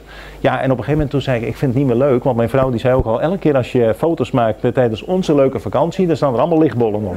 Dus op een gegeven moment zeg ik tegen mijn zoon, doe jij dat maar. Dus goed. Maar die lichtbollen worden ook gezien door het leger boven die, uh, boven die uh, graancirkels. Daar vliegen vaak geblindeerde helikopters. Dus uh, ik zeg altijd MI5, hè, dus geheime dienst, vliegen er overheen. En ook achter lichtbollen aan die ik zelf ook zie en het publiek ook ziet. Dus dat zijn zwarte orbs, oranje orbs, witte orbs. En ze, ja, die lichtbollen spelen met die, vliegt, met, met die helikopters. En dat is toch wel heel, heel vreemd eigenlijk. En dan laat ik even zien wat John Whaley dus uh, heeft uh, meegemaakt in 1996. Die man zou je geen cent geven in die tijd, heb ik begrepen, want ik was toen nog niet actief. Maar hij had een analoge camera en hij wilde pertinent een graancirkel erop hebben. Nou, u kent hem misschien wel, dit is een oud filmpje, uh, echt zo oud als Methuselem. Maar het is wel zo dat hij op een gegeven moment terugkwam in de pub en hij zei, ik heb hem. We got hem. En dat is zo uh, dat, uh, dat uh, de film is ge, gescreend door Steven Spielberg.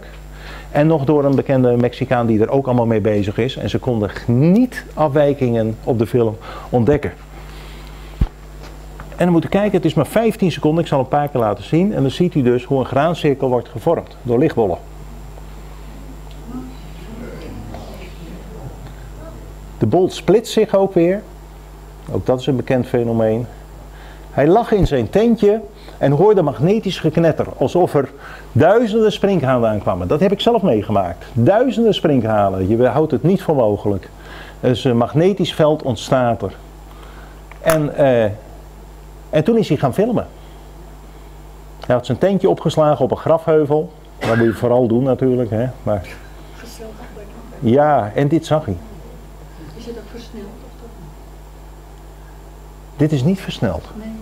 Nee, dit is 15 seconden. Ik zal nog één keer wel die 15 seconden, die mogen we wel voor de pauze even nemen van de voorzitter. Maar je ziet hem hier ontstaan. En eh, Lucy Pringle, toch een van de bekendste ter wereld eh, op graancirkelgebied, is al de 70 behoorlijk gepasseerd. Maar is nog steeds actief. En die zag dus dit. Zijn er overheen gevlogen. Hier waren al mensen erin geweest even. Maar die zag dus deze cirkel. Het is een hele, eigenlijk een hele simpele, hè? maar in 15 seconden. Nou, die man die werd echt voor gek versleten en is ook afgekraakt overal. En op een gegeven moment is hij gewoon verdwenen van het nieuwstoneel. Maar die film is gebleven. En, hey, ja, nou we zitten goed. Pauze. En u heeft een vraag. Dat mag ook, want ik wil nog even iets vertellen voordat we de pauze ingaan. Want we gaan nog even goochelen. We gaan goochelen. Even Hans spelen. U mag een vraag stellen. Even één ding nog over die, over die film. Ja. Ik denk dat het eh, een van de belangrijkste dingen eigenlijk nog vergeten wordt. En dat is eigenlijk dat je, als je goed naar de bollen kijkt, zie je ze niet in diameter afnemen naarmate ze naar Klopt. de horizon gaan. Ja, klopt. Het is juist andersom. En, eh, en dat is ook weer zo vreemd. We moeten eigenlijk compleet anders gaan denken dan dat we gewend zijn. Een vliegtuig verderop is klein en als hij dichtbij is, is hij groot. Nee, andersom. Dus eh, ja, dat eh, een hele goeie, want eh, die heb ik ook al eens gehoord. Hè? Dus, en ja, wat we gaan doen, we gaan even goochelen en dan wil ik u ook aan het werk zetten. Want u mag niet alleen de schedels even aanraken.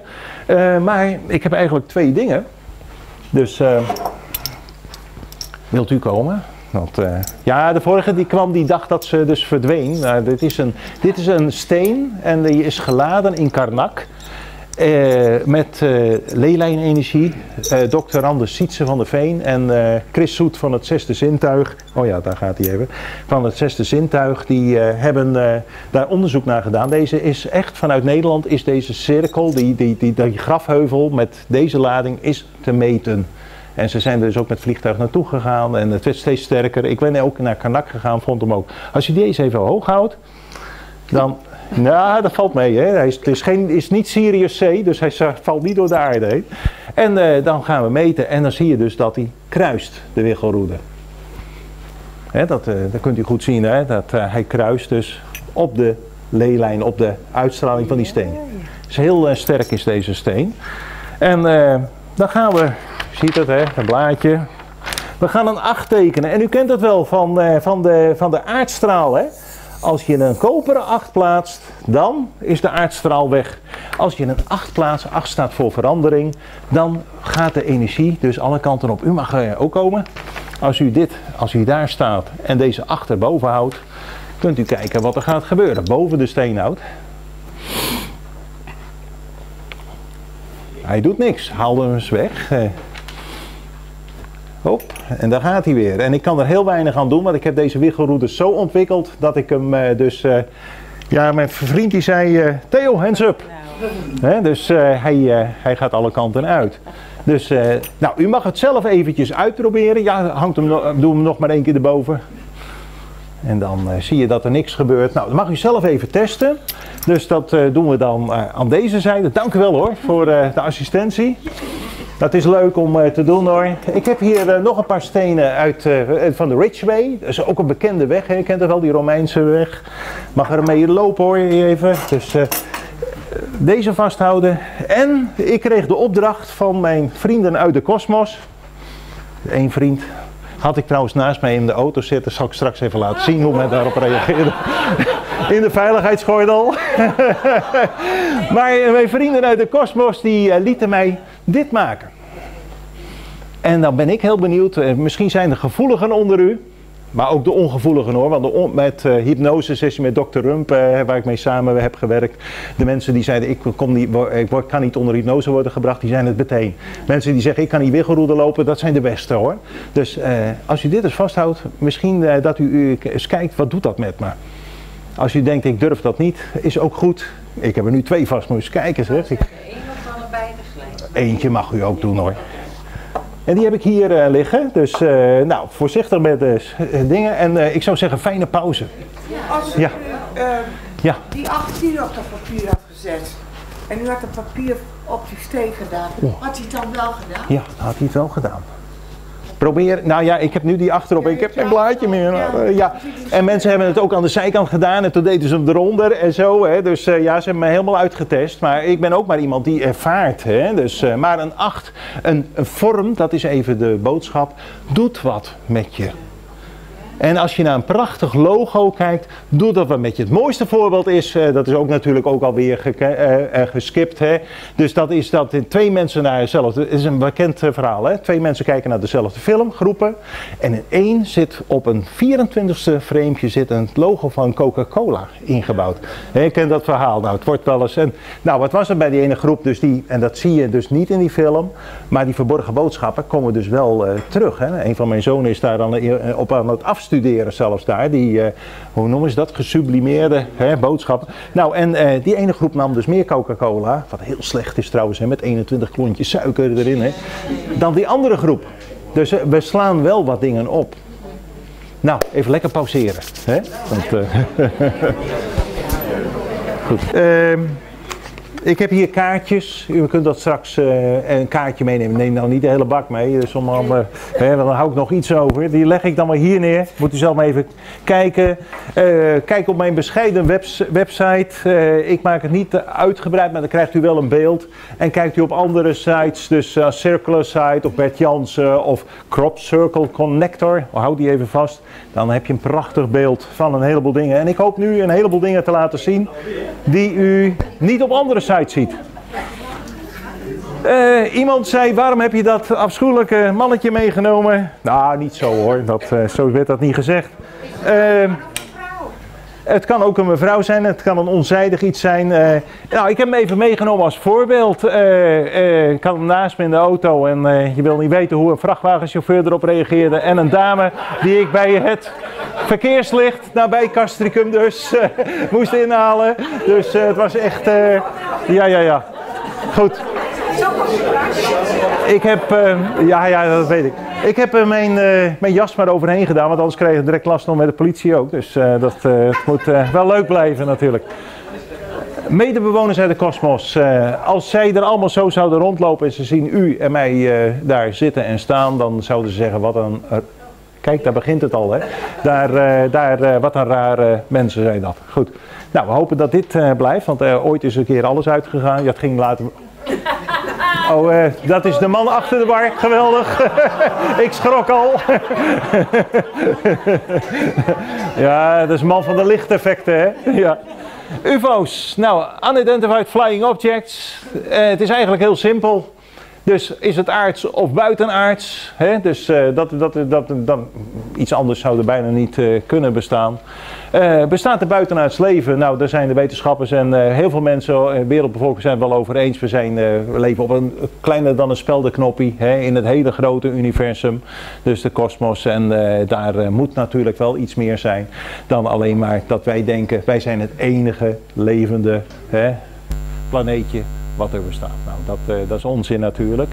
Maar uh, komen ze hier? Dat is wel een hele uh, wezenlijke vraag natuurlijk, want dan wordt het al wat enger. Hè? Dus zou het kunnen zijn of interessanter? Er zijn twee mogelijkheden.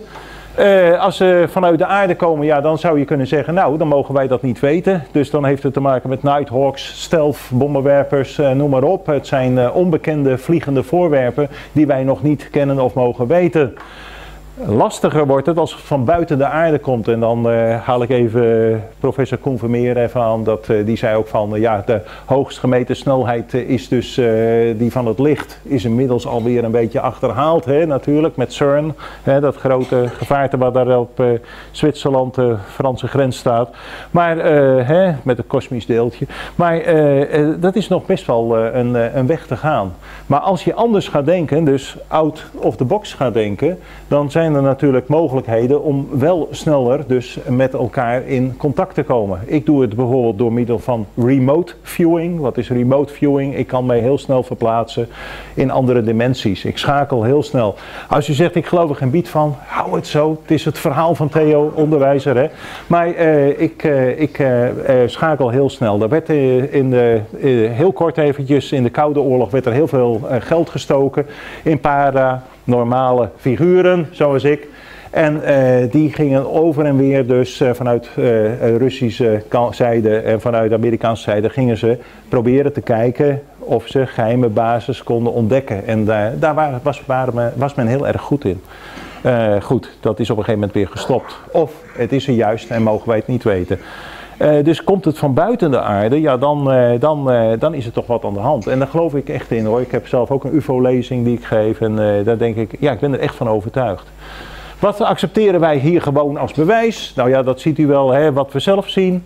En eh, getuigenverklaring, waarneming van anderen natuurlijk. En dat is ook allemaal wel beschreven. Maar als je dus in een rechtbank bent en ik zie dus dat iemand heeft een mes in iemand anders geprikt. En mijn buurman heeft dat ook gezien. En dat mes is niet gevonden, maar we weten wel iemand aan te wijzen. Dan wordt diegene hoogstwaarschijnlijk wel veroordeeld. En, eh, en eh, als wij zeggen, nou we hebben een onbekend vliegend voorwerp gezien, een UFO, Unidentified Flying Object. Ik moet wel zeggen, als u op vakantie bent geweest, heeft u waarschijnlijk in een IFO gezeten. Hè? Dat is een Identified Flying Object, hè? maar iets wat wij niet kennen. Dus dat is een UFO. En eh, ja, dan, dan zeggen ze altijd, nou je bent niet helemaal goed. En laat het maar eens zien. Nou, dat zal ik u laten zien wat ik heb gefotografeerd. Nou, heel veel is erover te vertellen geweest. Eh, het laatste is het Disclosure project en dat is dus eh, dat men alles wat eh, men heeft opgestuurd, dat men dat nu openbaar probeert te maken. Nou, dit is van, zijn vijf dikke pillen, heb ik in Engeland aangeschaft. En daarin staan dus, staat dus, staan alle verhalen, tekeningen, noem maar op, beschreven van mensen tussen 1940 en 1980. Dus, eh, en eh, dat, eh, ja, die mensen zeggen ook van, het is echt waar wat we hebben gezien. Nou ja, goed, dat kun je dan nalezen, maar er wordt niks mee gedaan. Goed, wat ik in 2006 heb ervaren, dat was dit een soort satelliet vloog over het veld heen. Samen met mijn zoon gezien. We hebben hem kunnen vastleggen en daarna vloog hij ook razendsnel weg. Grote lichtbol erachter, is niet de maan. Vloog erachter, zie je vaker. Ik haal hem iets verder naar voren. Een week later vloog hij boven Israël, is op YouTube eh, te zien. Heb ik in de UFO-film, eh, laat ik dat dan nog even zien, eh, hoe die daar vliegt. Precies hetzelfde. Een soort onbekend vliegend voorwerp. Er zitten geen mannetjes in, denk ik. Maar er is wel een soort verbinding. Je ziet ook vaak die lichtbollen erbij. In 2008 eh, gebeurde er iets wat echt mijn leven op de kop heeft gezet. We waren in de kroeg. Daarna zijn wij doorgegaan. We waren in de kroeg. We zijn doorgegaan naar de camping weer. En toen dachten we, zullen we nog even kijken bij, dat grote, eh, bij, de, grote, eh, bij de grote grafheuvel West Kennet Long Barrow. En dat is eh, ook echt op een, een kruising van heel veel leelijnen. En daar gebeurde wat. Eh, wij eh, kwamen eraan en we hoorden dus een dreun. Dus, eh, en eh, eh, over het veld heen. En op een gegeven moment gekrijs van dieren. Ik heb eh, nog nooit zoveel angstkreten gehoord. Op een gegeven moment werd het muisstil. En eh, eh, verscheen er boven eh, ons een soort driehoekig, groot driehoekig voorwerp. En, eh, en eh, we zagen rechts van ons, en dat is dus hier dan zo genomen, eh, één koplamp. Ik denk, nou, er staat iemand dus met zijn motor. Op een gegeven moment kwam er een licht naast. Toen dachten we, hé, hey, de lamp doet het toch weer. En heeft een ander praat gekregen met zijn auto. En op een gegeven moment schoof die lichtbol omhoog en verscheen er nog één. En op een gegeven moment kregen we vanuit die eh, eh, driehoek, daalden er zo'n vier lichtbollen neder en gingen ze draaien. We hebben een show gehad van 51 minuten lang en ik voelde me zo klein worden. Gelukkig had eh, mijn eh, vriend Jos Zoet, die uit Ruurlo, zeer nuchtere man, had een fototoestel bij zich. Maar ik had mijn filmcamera in de caravan liggen. En eh, we waren gewoon even een avondje uit. En, en hij had hem bij zich en heeft dus een paar foto's gemaakt daarvan. En dat waren oranje lichtbollen zo groot als halve of hele huizen. Maar de afstand ja, is moeilijk eh, dus eh, in te schatten. Hier eh, zie je ze. En zij formeerden zich, van die driehoek schoven op, tot, een, tot meerdere ballen onder elkaar. En werden dus als het ware één groot geheel. En dat leek dus een heel groot apparaat aan het worden. En dat werd dit. En dit. Ja, de celbeurlijke. En op een gegeven moment, op het laatst, mijn zoon stond dus in het graan dus te kijken. En eh, ik hoorde mentaal, dus op een gegeven moment was er even niks te zien. Er komt een afsluitende eh, krachtexplosie. De cameraman ging naar boven, mijn zoon bleef staan in het veld. En die kwam er ook. Daarna is mijn zoon heel ernstig ziek geworden. Het immuunsysteem heeft het laten afweten. Hij is twee keer echt eh, in het ziekenhuis. Heeft hij heel zwaar en heel slecht gelegen. Hij is nu na vier jaar eindelijk schoon. Dus, maar het is eh, heel slecht met hem ge- geweest. Dus het heeft best wel eh, invloed als dit eh, datgene is wat een cirkel dus maakt, dan heeft het een behoorlijke elektromagnetische straling en dat kan dus invloed hebben op de omgeving. Eh, wat ik heb gezien, en dat zagen die andere twee niet, en daar blijf ik bij, maar goed, ik ben bij Dr. Rump onder hypnose geweest, is nog een keer bevestigd en dan ben ik weg en dan heb je de hypno of de emotiedetector, geeft dat perfect aan, meerdere getuigen bij geweest. Maar wat ik zag was dus dit hoofd en deze, ongeveer deze, maar mijn zoon die was nog te lui om hem even aan te passen, want het was, bolle poten waren dat, deze heb ik dus gevonden nog, eh, dus... eh, maar bollepoot, dit, dit zag ik landen. En ik probeerde erin te komen en dat mocht niet. En toen heb ik gezien dat dit wezen communiceerde met een ander. En die kwam naar beneden en die stond voor me. En dat was deze man, een humanoid. En nou heb ik mensen in de zaal wel eens horen zeggen, nou die zou ik ook wel willen tegenkomen, liever dan jij Theo. Dus eh, hè, dat is even, eh, maar met eh, deze baard. En daar werd het volgende werd er verteld onder hypnose, dat heb ik later ook wel gezegd, maar onder hypnose, nou ja goed, dan heb ik niet veel te vertellen, dan vertel ik wat men ook vraagt. En dat was dus fysiek contact met deze persoon, kwam nog te vroeg voor mij. De energie, vortex op mijn hoofd, is nog te sterk voor mij. Voorzichtigheid geboden. Vandaar dat iemand anders komt die zich kan afstemmen op mijn trillingsniveau. Dat was deze man.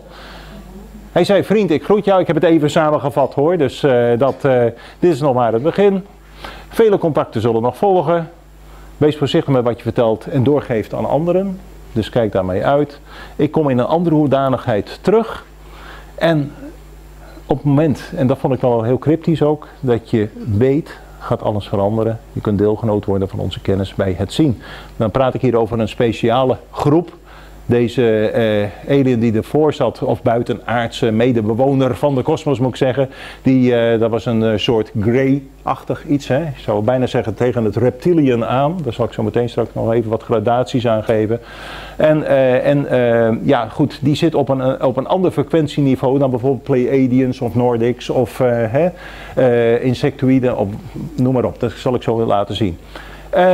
Deze man kwam ik het jaar erop tegen. Even in de ik kom in een andere hoedanigheid terug. En ik was bij Stonehenge en ik, eh, ik had die man gefotografeerd, Andrew. Die heeft daar zeven maanden gezeten. Ik denk later, toen ik die foto zag, was hij het? Of was het bijvoorbeeld, ik was nog steeds aan het zoeken, ja, ik zou het toch wel eens willen zien een andere hoedanigheid, eh, zou ik hem weer tegenkomen. Of was het deze man, die druïde? Ik vond ze allebei wel heel erg aardig hoor. Het zijn eh, hopelijk gewoon mensen. Maar ja, misschien leven ze ook onder ons, hè? humanoids. Dat, eh, daar zijn eh, ook wel verhalen over. Ik vond het heel, heel leuk om dat later even terug te zien. Op dat moment had ik niet die klik of zo hoor. Goed, in Nightwatch 2009, dus even een jaartje verder, ben ik aan het zenden en aan het ontvangen. En dit gebeurt er dus, dit ontvang ik. En eh, het is een, filmpje, ik zou hem kunnen laten zien, maar vanwege de tijd moet ik dat even niet doen. Eh, eh, op Nightwatch 2009 kunt u hem vinden op YouTube, Nightwatch 2009, even in toetsen. En dan ziet u ook dat ik uitzend en ontvang. 2011 eh, zijn meerdere foto's trouwens van hoor. Eh, is dit. Dit is een, eh, een onbekend vliegend voorwerp. En dit is dus wat er gebeurt. Dus er is een interactie, is er, vindt er steeds om mij heen of bij mij plaats. Hier ook. Hè, dus zie je dus, er is contact. Mentaal contact. En daar kun je onder hypnose weer, kun je het weer uitkristalliseren. Maar goed, er wordt eh, boodschappen en zo worden uitgewisseld. Ook hier weer in 2012.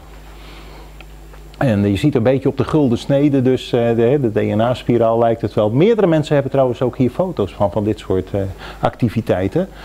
Als u denkt, ik moest hier nodig naar de kroeg een plasje plegen. Helaas, het is niet waar. Hier is de UFO. Dit kwam vanuit mijn buik. Dus eh, een esoterisch straal, ja. Dus, In 2010 een encounter. Iemand zei tegen mij: eh, Ja, ik heb van Jeanette Ossebaard gehoord, Theo, dat jij uh, nogal dingen ziet. En uh, met Nightwatch. En dat is heel bijzonder. Zeker Igor uit België, dus bijna voorzitter van onze club geworden. En hij belde mij op. En, en of ik dus even naar de, naar de pub wilde gaan. En ik zat midden met allerlei kristallen schedelfiguren zat ik te praten. Dus zonder camera daarheen gegaan. En hij zei: Theo eh, zullen we even gaan kijken? Nightwatch. Nou, ik zeg, is prima. Hij zei, nou, ik nog niet veel. En op een gegeven moment vanuit een uh, wolk, dus even een animatie. Dus uh, mijn zoon was erbij. En, en ja hoor, daar kwamen enorme lichtflitsen. 1, 2, 3 lichtflitsen kwamen eruit.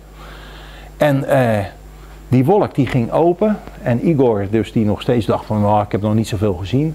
Die bleef alleen maar kijken. En toen gebeurde dus dit.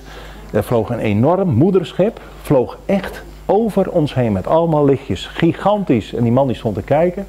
Heeft mij nog een graancirkel kalender gegeven en ik heb hem nooit meer teruggezien. Zei je, zoef weg.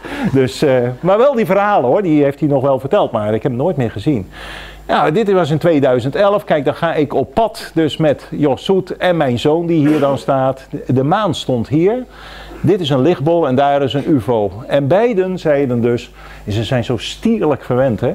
die zeiden dus, een, uh, een, UFO en hij maakte ook een bocht en hij vloog later over ons heen, zo is echt groot. We hebben in 2008 veel meer meegemaakt, dat was veel leuker, dus nee, dat was 51 minuten. Ja, zo zie je maar weer, je hebt alles in bepaalde vormen, maar het was echt een uh, onbekend vliegend voorwerp. Nou, medebewoners uit het universum, ja, Is er live on other planets? Doe niet zo raar joh, dat zouden wij misschien ook zeggen, maar hè, zij doen het daar. Zou kunnen. Ja, drie ogen.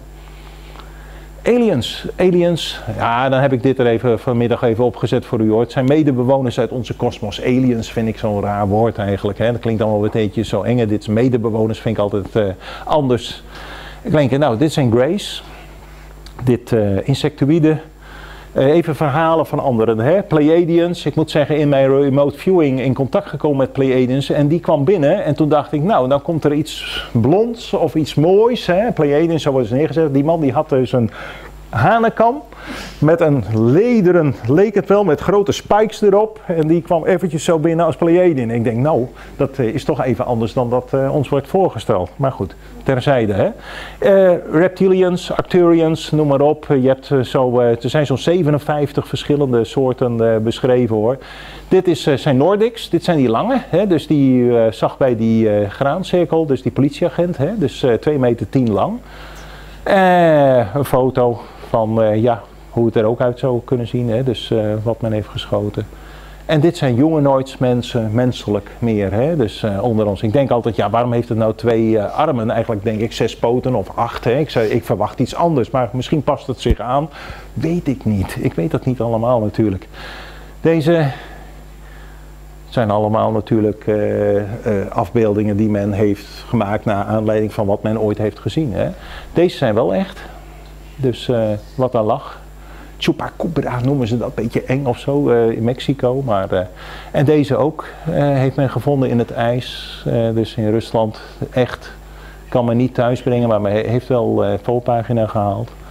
En uh, ja, Adamski had je. Hè? Adamski kwam op bezoek bij uh, Bernhard en uh, Juliana en had het dus over dus Ashtar. Hè? Dus ja, prachtig wezen natuurlijk. Hè? Dus hoe die eruit zag. Maar heeft er heel veel, George Adamski heeft heel veel erover geschreven en ook heel veel over laten zien. En al zijn belevenissen heeft hij opgetekend. en deze, ook gevonden, heel klein. Nou ja, waarom moeten we allemaal groot zijn? Uh, of, uh, maar ik zal straks iets laten zien, dat is 7 meter en 3,5 meter lang die ik ben tegengekomen in het graan. Dat is, uh, dit is Billy Meijer, toch ook heel bekend hè? Dus de Oostenrijkse Zwitserse setting en die kwam dus ook allerlei wezens tegen. Onder deze dame heeft ook heel veel foto's gemaakt waarvan men later zegt, ja was het wel echt of niet? Ja dat hou je steeds natuurlijk. En een soort grey weer. En uh, ja, hier werk ik mee. Als ik healing geef, dat werd zo straks gevraagd. Dit zijn mijn engelen. Ik geef uh, binnenkort uh, dus een engelenlezing aanstaande zaterdag in het oosten van het land. En dit zijn mijn engelen.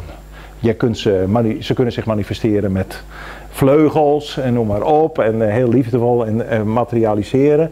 Maar dit is de Crystal People, 9.7 dimensie. Dimensie is weer niveau, energieniveau, niet driedimensionaal, dat zitten we hier, maar dimensie is eh, energieniveau. En daar eh, werk ik mee. eh, dus. En dit zijn mensen die, ja, dat is heel bekend. Mali staat nu bekend omdat er militairen naartoe gaan. Maar Dogon people, ja, die, die hebben dus deze, de Nomos, hebben, ze, hebben ze ontmoet. En die gaven eh, al 4000 jaar geleden zo'n beetje aan hoe eh, de planeten ervoor stonden. Sirius A, Sirius B, Sirius C. Nou, Sirius A, zoals ze hebben beschreven met een omloop van eh 50 eh, eh, jaar, hè, dus een omloop van 50 jaar. Eh, dat is later achterhaald eh, ook, dat was 50,4. Maar ze zaten dus eh, een paar duizend jaar geleden al heel goed en dichtbij. Sirius B hebben ze pas later ontdekt, maar dat wisten zij al. En Sirius C wisten ze ook precies te zeggen hoe zwaar Sirius C zou zijn. Een heel klein klompje zou dwars door de aarde heen vallen. Dat wisten zij al te vertellen, want dat hadden ze gehoord van deze wezens. Half watermens, half... eh, hè. Nou ja, nou, kijk, dat was ik nou eh, dus eh, twee dagen geleden. Hè.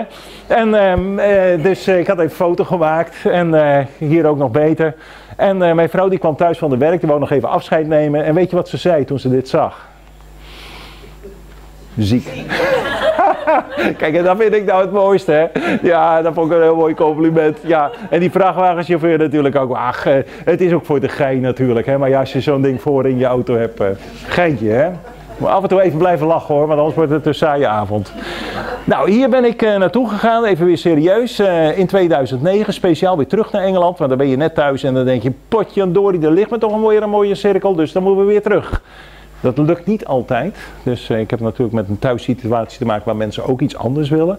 Maar in 2009 was het me gelukt. Dus ik ben erheen gegaan. Die boer ging, dan weet u nog, eromheen zo prachtig eh, maaien. Dat laat ik zien hier. Hij ging eromheen om de cirkel. Nou, en wat zag ik daar verschijnen? Achterin. Heel groot. Ik denk dat ik een van de weinigen ben hier op deze aardbol die hem heeft gefotografeerd. Quetzalcoatl, de Maya-god, zoals de Maya's hem ook hebben gezien, met daarnaast een grote robot. Ik laat hem even zien. Ja, ik heb niet de technologie om nog, maar daar, daar kom ik wel eh, uit. En eh het geeft even aan. Even kijken. Quetzalcoatl is de gevederde slang, hè, dus eh nou, stond voor het goede in de mens. Dat is even Maya. Hè, en eh, de man met een snavelmasker. Dus heel veel wordt daar. Nou, die stond daar. Dat verplaatste zich, heel groot die wezens. En op een gegeven moment, toen fotografeerde ik dus wat daar verder gebeurde. Namelijk, vanuit die Maya, dus eh, die, eh, die Quetzalcoatl en die robot, werd iets opgebouwd. En dat bouwde zich op tot een wezen van ongeveer 6 meter hoog. En dat was dit. En gelukkig ben ik niet de enige die dat heeft gefotografeerd, want het heeft Andrew Peerka heeft dat ook gedaan. En Mike en Sue een maand later, dus eh, hebben dat ook eh, gezien, dus uit Engeland. En dat is ook op internet verschenen. En hier stond hij. En hij las dus alles wat er was. Ik heb eh, dus geprobeerd in contact te komen. En ik heb ook later met hypnose het volgende dus nog even een...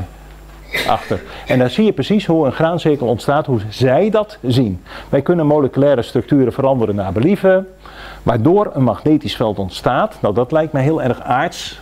Dus eh, dat eh hè, probeert het te vertalen misschien, waardoor voor jullie bekende structuren vervagen, vervallen, vervreemden, veranderen. En daardoor krijg je ook het patroon in het veld. De graancirkelpatronen geven energie en vormen een sterrenpoort voor meer intermoleculair contact. Daar kom ik zo meteen nog op terug met een andere ervaring, want dat heb ik eh, zelf gezien. Hierdoor wordt een energieveld ge- gecreëerd, hè? Nou, van de ene naar de andere ruimte. Dus dat leek me ook logisch, want als je het licht moet gebruiken als snel, gemeten snelheid, dan ben je wel even een tijdje bezig. En met ruimte wordt bedoeld dimensies. Dit is even compilatie hoor, want ik heb het wel eens uitgebreider gedaan toen in Zaandam. En dan, eh, ja, dan ben je heel lang eh, onderweg. Ehm, 2010, Zo- volgende ervaring. Dit leek op een Stargate. Ik zal straks laten zien dat een andere man, eh, ik denk een eh, Spanjaard, heeft, het, eh, heeft hetzelfde dus eruit gehaald. Maar we konden er rustig in. De boer had het keurig aangegeven en ik was erin en ik deed een meting en ik dacht, jee, en het voelde niet goed om me heen. Ik dacht, Ja, moet ik hier wel in zijn? Ja of nee? Ik dacht eigenlijk, nou ik weet het niet. Heel hoge energie, dus precies in het midden ook. Dus van, van, eh, van deze cirkel, precies in het midden. En toen het volgende gebeurde. Mijn zoon heeft het ook op film gezet. Dus eh, ik laat even de, wat foto's daarvan zien. Ik voelde dat er op mijn voorhoofd, dus het vol, ja, dat, dat er eh, druk op kwam en ik draaide mij om en ik stond oog in oog met wezens samen met mijn zoon. Eén van 7 meter lang en één van ongeveer 3,5 meter lang, de helft. Ik laat hem even zien, ik heb hem u- uitvergroot. Dus deze lijkt wel Transformers. Als je kinderen vraagt, eh, teken een alien of volwassenen, teken dan van die mannetjes. Ja, deze heeft een Beatrix kapsel, zeiden ze in, eh, in Castricum hoor. In Castricum zeiden ze dat. dus Bea. Maar, eh, maar dat tekenen ze allemaal op dezelfde wijze. Maar ze zien er natuurlijk ook anders uit. En dat kan natuurlijk. Hè? En, eh, en eh, deze die zag er zo dus uit. En wat ik hoorde was mag- elektromagnetisch geknetter. Mijn zoon heeft dat ook gehoord. En er werd alleen maar eigenlijk gezegd, eh opzouten, zouten jullie aardmannetjes wegwezen. Hè? Dus werkmiertjes wegwezen, want jullie verstoren de energie. Ik heb later tegen Janet Ossenbaard en Bert Jansen, die dus veel eh, reizen organiseren. Ik zeg, probeer niet in al die cirkels te komen, want je mag er niet altijd in. Eh, want je verstoort energie. Dus in zo'n cirkel. Daar kwam uit het volgende, dus hè, zijn beschermd door een soort elektromagnetische outfit. Nou, dat lijkt me ook logisch. Als wij op de maan lopen, hebben we ook een outfit aan. Hè, waardoor ze tegen de grond ook kunnen verdwijnen. Zal ik zo meteen bewijzen dat wij dat ook kunnen. De outfit is opgebouwd uit ringvormige elektromagnetische golfstructuur. Het lijkt net of het allemaal kleine ringetjes bestaat. Ik hoor een heel hoog gezoom, elektromagnetisch geknetter. Nou, zijn hier eh, gedropt. Dat werd verteld aan hoor. Met als opdracht eh, de blauwdruk. Hè, dat is die cirkel te bewaken. En ieder die daar binnenkomt wordt gescand en wordt toegelaten. Mits de blauwdruk niet beschadigd wordt. Nou, wij moesten gauw verdwijnen, heb ik begrepen. Ik heb later ook van anderen begrepen. Dus eh, die ook hetzelfde hoorden wegwezen eruit. De cirkel is een sterrenpoort. Geeft toegang tot meerdere wezens die bij hetzelfde proces betrokken zijn. En hij mag niet beschadigd worden, anders wordt de effectiviteit verloren. Nou, dat is logisch. Maar om dit te voorkomen is alles van onze zijde geoorloofd. Dat vond ik een hele, hele eh, vervelende. Want eh, ik denk, ja, wat, tot wat zijn ze in staat? Want ik voel me eigenlijk zo klein. Ook toen weer, in 2008, maar in 2010 weer. En ik denk, jee, eh, nou, dit, dit lijkt me niet lekker. En deze man, dus die, die Spanjaard, die had eigenlijk hetzelfde, eh, op- zag ik later pas op internet hoor.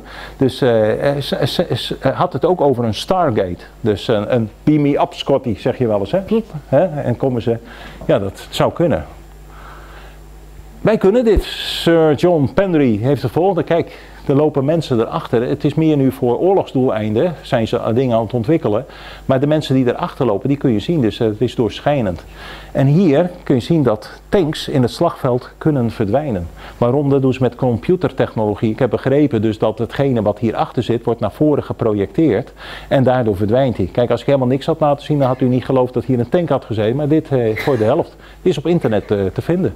En dat is dus moderne technologie en dat wordt daar ook gebruikt. Dus waarom zien we het wel en waarom zien we het niet? Dus eh, dat is een mogelijkheid met onze aardse technologie. Nou, deze wordt eh, ter verantwoording geroepen. Hij moet maar zijn eh, excuses van die politieagent aanbieden aan die boer, want hij zit al die cirkels, eh, hij zit dat veld een beetje te ruïneren. Hè? Goed. Gaan we door naar de codes in het graan en die heb ik geanalyseerd. In 2002 werd het al gedaan, eh, even kort hoor, voor, eh, om uw geheugen op te frissen, voor zover u in- insider bent. Dit verscheen in het veld, allemaal dotjes, allemaal puntjes, net als eh, met, met een, een foto die in de krant is geplaatst.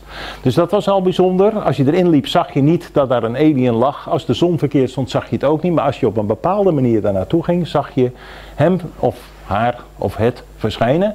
En dit vond men heel erg interessant, de wetenschappers. En dat hebben ze geanalyseerd door middel van, hey, wat zit daarin? Dus eh, de binaire toepassing hè, werd er gebruikt. Dus wat wij kunnen hè, en wat wij weten, werd daar gebruikt. En dat eh, noemen ze dan ACSII, hè. u ziet dat wel, die standaardcode. Daar kun je een heleboel dingen mee eh, vertalen. Dus misschien is het ook wel weer redeneren naar iets toe. Maar iets konden ze er wel uithalen. Dat is wees op uw hoede. Dit is vertaald uit het Engels. eh, voor de boodschappers van valse giften en hun verbroken beloften. Veel pijn, maar er is nog tijd, zeiden ze in 2002. Believe, er is goedheid daarbuiten. Wij zijn tegen misleiding, kanaal gesloten. Er zou nog meer in staan, maar goed, eh, vaak, ja, waarom is men daar niet mee bezig? Dit is toch zeer interessant en dat zegt Jeannette Ossebaard ook wel eens. Ja, maar eh, wetenschap, eh, tenminste de Wageningse Universiteit, ja, zij, zij doet die lezing en dan kost je weer 7000 euro om dat eh, te vergaren. Hè? Dus dat is eh, lastig. Nou, eh, deze is nooit in het nieuws gekomen. Ik ben daar overheen gevlogen toen. eh, en eh, dat, die piloot Andrew die zei tegen mij van... dit is heel bijzonder, dit, dit klopt niet. Ik ben daar wel mee bezig geweest met channelen. Nou is dit niet zo belangrijk. Ik ben er even mee bezig geweest en gestopt. Maar de manier hoe dit er ligt, zo, dat vond ik al heel raar. Totdat ik een lezing had van een professor over, op het gebied van taal, taalkunde.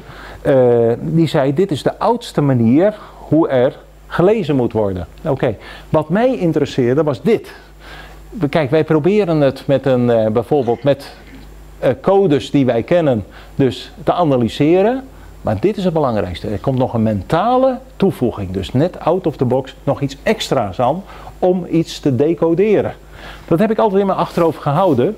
En op mijn website kunt u deze terugvinden hoor. Dus dan ga ik een beetje wat sneller doorheen omwille van de tijd. Maar deze kunt u terugvinden. Dit vond ik zeer interessant in 2009. Twee cirkels met heel veel aparte patronen. Dan denk je, hoe bedenk je dat als leek als je een grap wil uithalen om dit er neer te leggen? Nou, deze lagen er ook als ghost hoor, het jaar erop. En dan zie je dus eh, wat ik eruit heb gehaald met channelen. En daar doe ik dan vrij. eh, en de lichten gingen het huis ook aan uit met dat channelen. Maar we zijn er eh, uitgekomen, zoon en ik. En waarvan wij denken dat dat zo is. Ik geloof er zeker in. En, eh, dus wij proberen daar iets.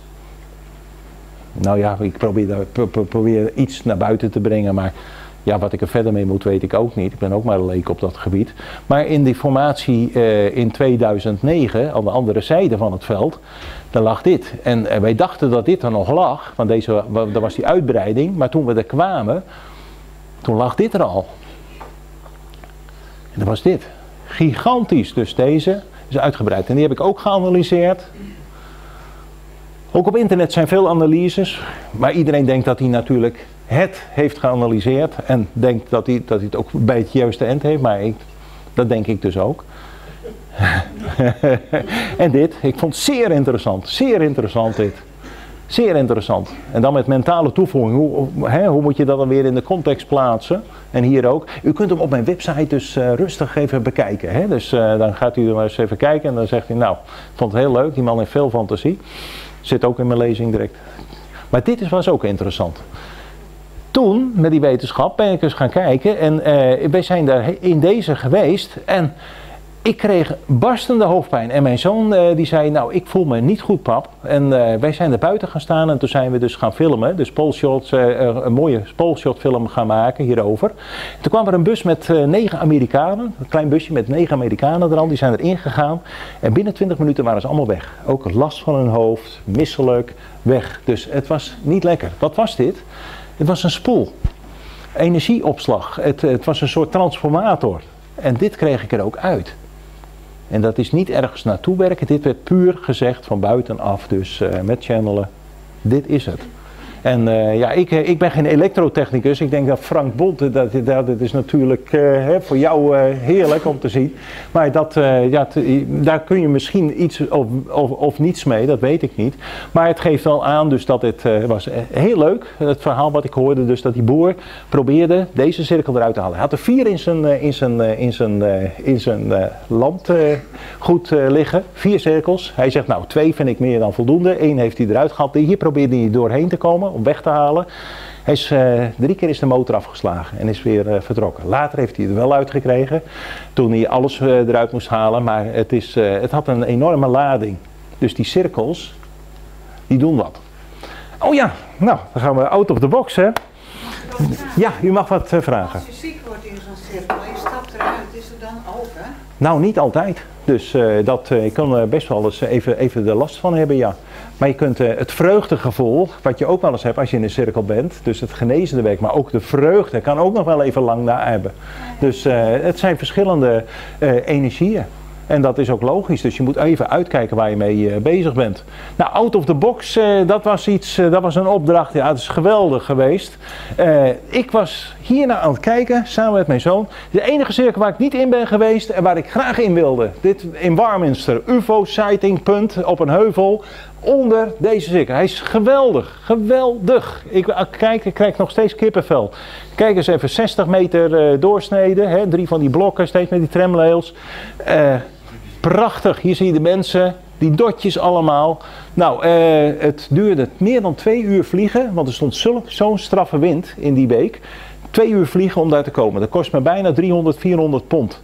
En uh, daar heb ik met mijn zoon over gehad. Wat zullen we doen? Zullen we een pilsje in de kroeg uh, nemen of uh, dat? Maar of helemaal niets meer en we gaan, ik ga vliegen. Nou, hij zegt pap, doe dat eerste maar, want dat is ons niet waard. Ik ben er wel heen gegaan. Later heb ik deze van internet afgeplukt. Dus ik heb hem van boven af die heuvel heb ik hem gezien. Maar dat zie je natuurlijk nooit zoals hij hier is. Maar terwijl wij aan het channelen waren, zeiden ze, je moet hem omdraaien. Want dit is niet de cirkel zoals hij bedoeld is. Draai hem maar om. En dat heb ik gedaan. En dan zie je totaal iets anders. En dat zal ik u laten zien. Dit. En toen dacht ik, dan moet ik dit doen en dit doen. En toen zeiden ze, maak hem maar. En toen moest ik denken aan die man van, uh, van Close Encounters of the Third Kind. Je kent die film misschien wel van, van Steven Spielberg. En die ging dus daar zitten en die had iets in zijn hoofd. Hij moest ergens heen naar de Duivelsberg. Er zou een ufo landen kennelijk, dat wist hij toen nog niet. En hij ging dus iets maken met puree. En uh, op een gegeven moment werd het zo erg. Zijn huwelijk was gestrand in die film. En hij heeft planten uit, de omgeving van zijn huis gehaald. Heeft een bouwwerk in zijn woonkamer gemaakt. Hij maakte de perfecte maquette. En toen wist hij het zeker, toen hij ook op de tv zag dat er een gebied geëvacueerd werd. Hè, even in een noot op die film. En, uh, want uh, militairen wisten dus dat er een ufo zou landen. En hij is erheen getrokken, dus door die omsperring. En hij is ook meegegaan met die ufo. Uh, ik dacht, ja, maar puree heb ik niet. Het was midden in de nacht, om 12 uur, zo weet je. Uh, wat zal ik doen? Wat zal ik doen? Ik heb mijn zo'n uh, Lego. Ik denk, Lego pak ik. Ja, en ik heb Lego gepakt en ik ben gaan bouwen. En om drie uur had ik hem af. En toen ben ik in bed gaan liggen, klaar. En toen kreeg ik een stoot in mijn zij. En toen zei ze, nee, hij is niet af. Echt letterlijk een stoot in mijn zij. Hij is niet af, hij klopt niet. Ik zei, dat klopt wel. Dus mentaal, hè. Dus, en ik naar beneden, ik heb hem neergezet, ik heb een foto gemaakt. Nou, en... Nee, klopte dus niet. Namelijk deze punten, die stonden niet opzij, maar die zaten daar dan vast. En toen heb ik hem weer gemaakt. En toen uh, heb ik hem op een, uh, op een zal ik direct laten zien, op een koker gezet. En heb ik een foto gemaakt en toen had ik hem weer wel. En wat was het? Het was een transmitter. Het was dus een graancirkel die bedoeld was om dingen uit te zenden en te ontvangen. En dan moet ik even kijken. Ik mis een stukje natuurlijk. Even kijken. Ja, hier is hij. Dat is de weg dus van Castricum en, de, en het opbreken hier over deze heuvel. Hè. Maar dit is hem. Dit is een graancirkel. En dan zou je zeggen, nee maar dat is niet, maar het is out of the box denken hè. En dan moet u, als u me niet gelooft, dan gelooft u me niet hoor. Maar ik heb er lekker veel werk aan gehad, tot vijf uur s morgens. Dus, uh, hè, dus uh, ja, ik vond het toch nogal wat hoor. Dat, hè, maar hij ontvangt en zendt uit. Dus dat, dat of hij dat nu doet, dat weet ik niet natuurlijk. Hè, maar het was, ja, ik vond het zelf wel grappig. Dus, en hier zie je die man hè. Ja, zo, ja, dit kost je huwelijk hoor. Mijn vrouw die zei, dus zei de volgende dag, wat een uitsloverij voor je een Lego pakketje. Maar goed, uh, die is wat nuchterder, hè? dat snap je ook wel. Hè? De nuchtere factor. Maar uh, ik heb hem dus op dat ding gezet, deze. En je ziet hem weer terug, hè. En hier uh, is hij nog even vergroot. Kijk, ik had hem hier opgezet van veraf. Je ziet hem, dat hij weer terug is gekomen. Nou, even in zwart-wit zo. Hè? Maar... Grappig hè? Maar dan gaan we even op een andere manier nu naar graancirkels kijken. Want wat zien we hier? Daar zien we dit. En toen werd er, toen ik aan het channelen was, mijn zoon die is uh, filmmaker, professional filmmaker en ook met geluid is hij bezig. Dus die had het perfect voor elkaar. We hebben test, noem maar op, staat ook allemaal op de tape.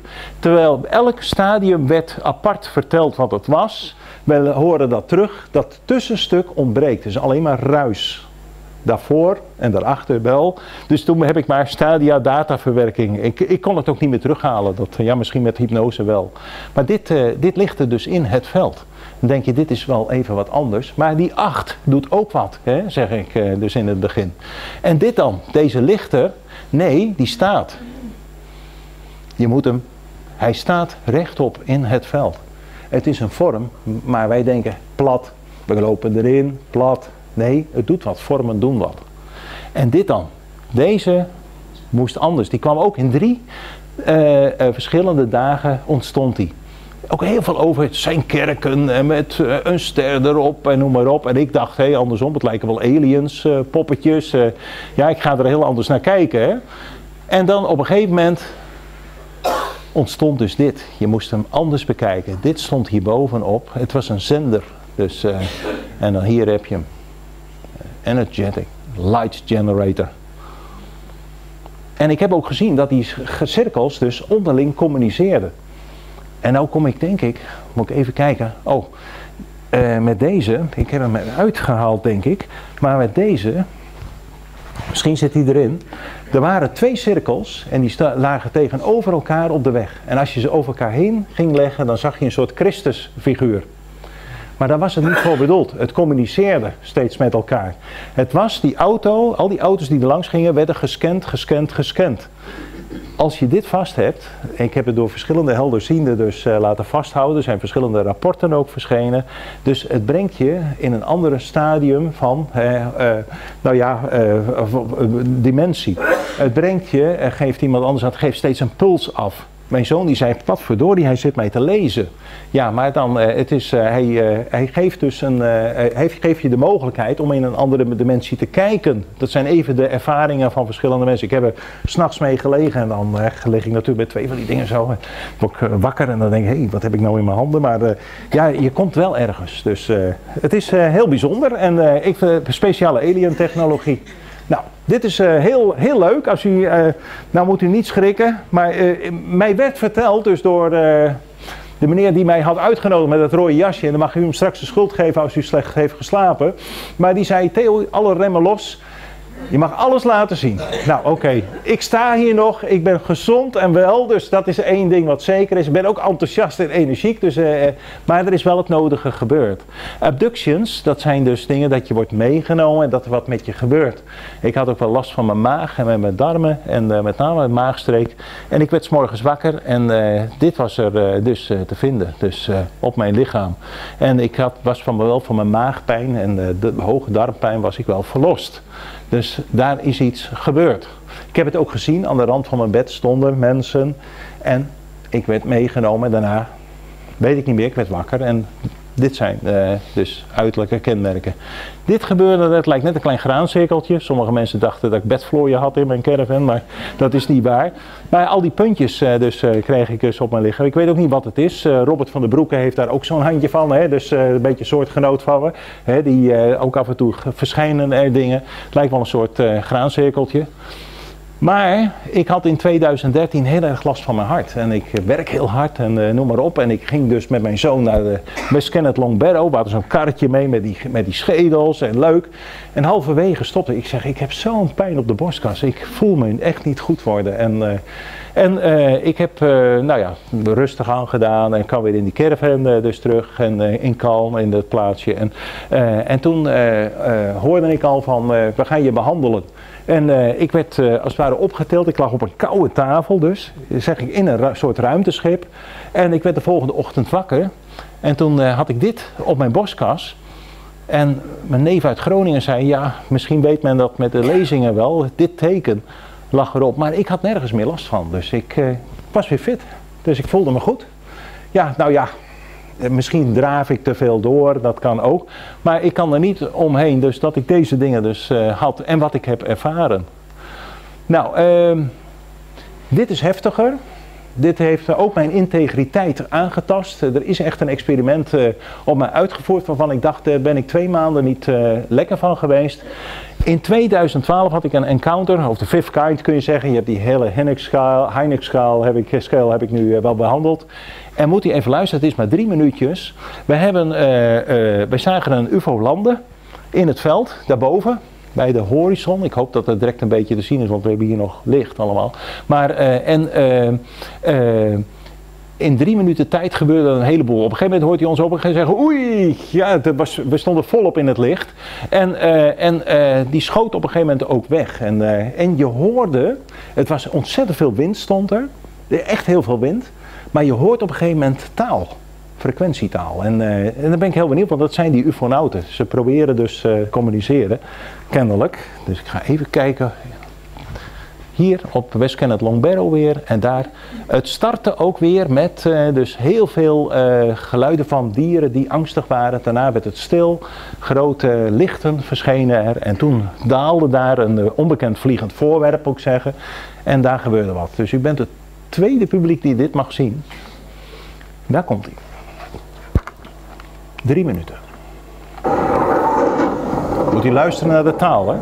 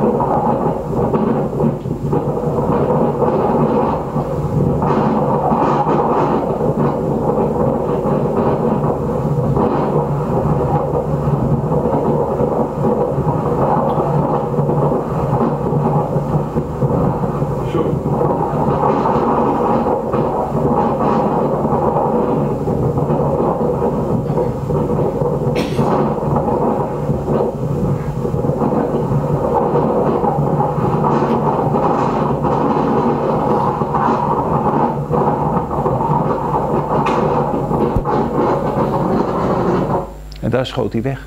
De ruimte weer in. Dus eh, ja, het is uniek eh, materiaal. Wat gebeurde er toen ik in de caravan was? kwamen drie wezens kwamen hebben mij bezocht. Mijn zoon heeft het gezien. Die lag aan de andere kant. Kon niets uitbrengen. We hebben dezelfde ervaring gehad. Ik werd opgetild, ik kon niks zeggen. Hij had instrumenten bij zich en hij stak een naald dus in mijn hoofd. En eh, daarna was ik, was ik weg. Ik weet het niet. En de volgende ochtend werd ik eh, wakker. Want er lag wat beetje bloed op een kussen. En aan de andere kant, zei mijn zoon, heb je dat ook gehad, pap. Dat kan ik u niet laten zien, maar eh dus hier in eh, ja, tenminste, er is ingestoken. Wat is er gebeurd, ook onder hypnose, van ja, er is DNA weggehaald en er is wat ingespoten. Ik ben 2,5 maand echt niet- lekker in mijn vel geweest. Ik vond het wel een, een, een aantasting van mijn integriteit. Ik denk, hé, hey, het is dus niet helemaal ongevaarlijk wat ik doe. Eh, en eh, van de andere kant, ja, eh, andere mensen zeggen weer ja, maar je hebt al zoveel goede dingen meegemaakt. Je voelt je steeds beter worden. En het geheugen is nu ook weer helemaal, ik voel me, ik ben heel snel met heel veel dingen dus te doen. Dus het heeft mij ook wel weer veel gebracht. Dus dit zal ook wel weer goed geweest zijn. Maar ja, het is wel link. Er zijn heel veel verhalen ook over van dat het wel minder afloopt. Ook met die grote oranje bollen. Bijvoorbeeld een, een wetenschapsteam uit Rusland in 59 eh, eh, verdween eh, in het uh, Oeralgebergte. En die heeft men later teruggevonden. En er zijn dus lichaamsdelen zijn verwijderd. En eh, de tent is opengereden en gereten. En dat was niet zo lekker. Dus er zijn best wel wat dingen. Goed, dat weet ik dus niet. Het is even aftasten. Deze mensen kende ik ook niet zoals ik, die waren niet bekend bij mij. Zo heb ik ze gezien en zo weer getekend. En dat, ik dacht al een beetje springhaanachtigen, dus grote figuren. Dus ja, nou ja, goed. eh, ach, eh, een vriend die zou mee zijn gekomen om me te helpen. Want ik heb, je ziet een halve huisraad, maar die had griep. En eh, dit was even een, een animatie van hem om hem op de hak te zetten. Jos Soet, hè. wij komen in vrede. Nou, alien technologie. Ach, ik heb het net eh, verteld. Kijk, dat zijn die twee eh, cirkels. Ik dacht dat ik hem er niet meer in had. En als je die over elkaar heen eh, ging leggen, dan had je een soort Christusfiguur. Nou, en, maar het was dus hierom bedoeld. Dus tak, tak, tak, tak, tak, scannen, scannen, scannen. En toen hebben ze gevraagd of ik dus dat in die alien technologie wilde samenvatten in een buisje. Ik heb met Sansevini gewerkt. En deze cirkels ook. En op een speciaal procedé. Dus hoe je ze ook er weer instopt. En speciale Dus eh, eh, krijg je dat. Dus heel interessant. Denk ik. Nou, en de ervaringen even van de mensen. Hè. Kijk, eh, je ziet het daar, je kunt het zelf wel lezen. Hè. Dat, ook, dit, was wel grappig. grappig, hè, met een witte slang op zijn achterhoofd. Zo, zo zag hij er ongeveer uit, zei hij. Zo, dat zag hij. Eh, hij kende het niet, dus, eh, maar het was ook niet angstig of iets dergelijks. Maar het was wel anders dan dat wij dachten. Dus totaal out of the box moet je denken. Hè? Dus, eh, nou, ik zie dat u steeds stiller wordt. ja, maar ik mocht van die meneer in die rode jas helemaal uit mijn dak gaan. Dus eh, anderen krijgen het niet. Want ik zei nog, zal ik een, zal ik een veilige lezing geven of zal ik een... eh, want eh, u moet voorstellen, ik kom in Harfsen en ik kom in Terborg. En er zijn de boertjes van Butten hè, bij Lochem, mijn kleindochteren. En dan zegt mijn vrouw, geen aliens, hij. Oh, nou, dan neem ik hem ook niet mee natuurlijk. Hè. En dan veilige lezing, hè. Een veilige lezing zoals doet. En, eh? Maar eh, ja, nee, eh, ik mocht uit mijn dak gaan. Dus, nou ja, waarom is men hier? Dat wil men ook heel graag weten. Nou, dat is heel, heel simpel. Ik zal het eventjes heel kort hoor, kan dat. Nou, dit om ons te helpen beschermen en waarschuwen. Dat kan. Nou, je ziet, wij, wij zitten ons kapot te vechten om een beetje, eh, eh, wat is dat, eh, wel, wel, welke, welke godsdienst het meest vredelievend is. Hè? Dus daar, dat, zo kijken zij, de, aardmannetjes. Maar boven Tsjernobyl, toen dus die explosie was, hebben meerdere mensen gezien dus dat er een heel eh, omheen werd gelegd door een ufo. Dus om erger, ons voor erger te behoeden. En voordat de aardbeving dus eh, in Japan was, is heel veel ufo-activiteit eh, dus gemeten. Dus eh, boven die kerncentrales. Dus men wist wat er zou gaan gebeuren. Dus interventie. Nou ja, goed, observatie. Hè? Dus ja, nou, ja, het klopt hoor. Mensen zijn echt. En eh, hier ook eh, dus het uitwisselen van kennis en ervaring natuurlijk. Hè. Dat, eh, het gebeurt hoor, dus op eh, eh, eh, behoorlijk niveau. Ik heb ook mensen gesproken die zijn dus één mijl, zei die bijna diep de aarde in geweest, zo'n NATO-basis. En die hebben gezegd, ik heb daar Grace zien lopen, Theo. Dus een militair was dat. En dat kun je ook terugvinden ook op dvd's, boeken en zo is veel over geschreven. Nou ja, ze zijn toch een beetje dom hè, die aardbewoners. Hè. Mannen komen van Mars en vrouwen van Venus. Eh, ken dat wel, hè. Nou, deze is er blij mee, hè, die tandarts. Dat zie je wel. Dus eh, we kunnen wat van elkaar leren. Maar eh, het experimenteren dus daarmee, nou dat heb ik net gezegd met die abductions. Hè. Hij, eh, hij denkt natuurlijk, even vermeldt zijn vrouw, eh, ah, het zijn even grapjes hoor, maar dat heb je net eh, kunnen zien. eh. dus eh, er gebeurt wel eh, wat mee. En eh, als laatste, ja, het winnen van grondstoffen. En dat gebeurt ook. Uh, Thierry een bekend filmmaker, ben in contact geweest. eh, in Hestdalen, Noorwegen. Het is echt van de be- bewoonde wereld. Je moet twee uur reizen, wil je er komen. Dus te voet. En daar zijn grasplakettes, dus precies eruit gesneden en daarnaast neergelegd en zijn hier mineralen verdwenen. Heel veel UFO-activiteit, dus is, vindt dat plaats. En hier zie je daar een voorbeeld van. Nou, en eh, natuurlijk, eh, ja, nou, dit is een grapje natuurlijk, hè. Onze benzine is wat goedkoper dan daar. En eh, Obama met de inauguratie, hè, zie je, dus is ook op video vastgelegd, dus op DVD, de obelisk, daar vliegt die vliegende schotel langs. Nou, we are your brothers. Dit is totale bescherming. Mocht u vanavond, heeft u zilverpapier, kunt u zich er totaal tegen beschermen. En ik wil vragen of ik nog even, dat mag het, het filmpje dat we er overheen vliegen, mag dat? Ja? Ja, de laatste keer toen ik bij Frank was, toen nam Frank de Chinees op. Weet je dan nog, Frank? Dat was wel dodelijk, hè? Dus wie wil de Chinees? Ik zal het nooit vergeten, het is een eh, item geworden. Gaan we er even overheen vliegen. Even kijken hoor. Dat is altijd wel weer leuk. Dat is wel heel erg aards, hè? Even kijken of de techniek eh, werkt. Dat moet lukken. Ja, ook dat gaat goed komen.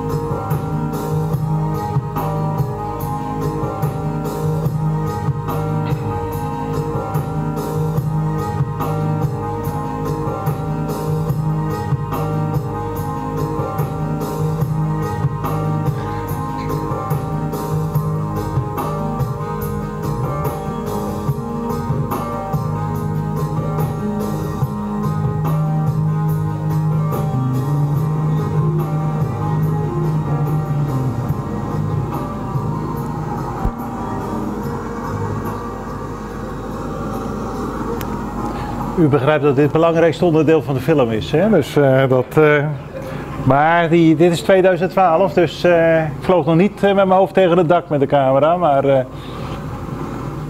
hij landt gelukkig weer helemaal goed op het kleine graslandje, vliegveldje.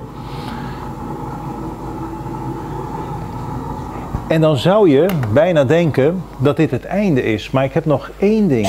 En dat is even hoe mensen er tegenaan kijken. Tegen mij. Hey Theo, ben je al in deze cirkel geweest in eh, 2012? Dat is een alien. De hars vliegt uit zijn hoofd en zijn oren. En hij rookt een hele zware harspijp. Nou, ik zeg, dat, daar wil ik zondag wel even heen. En dat heb ik gedaan. En eh, samen met mijn zoon. En op een gegeven moment stond er een man aan het hek. Die stond met een bloknootje. Ik denk, nee, hè, daar gaan we weer. Politie. Eh, een boer, een boze boer, ik weet het niet. Hij wil alles van je weten. Nou, ik zeg, eh, we hebben maar mooie shots gemaakt. En we gingen eruit. En toen zei die man, ja, u moet ik hebben. Ik denk, nee hè. Nou, en eh, waar komt u vandaan? Ik zeg, "Eh, Holland. Ja.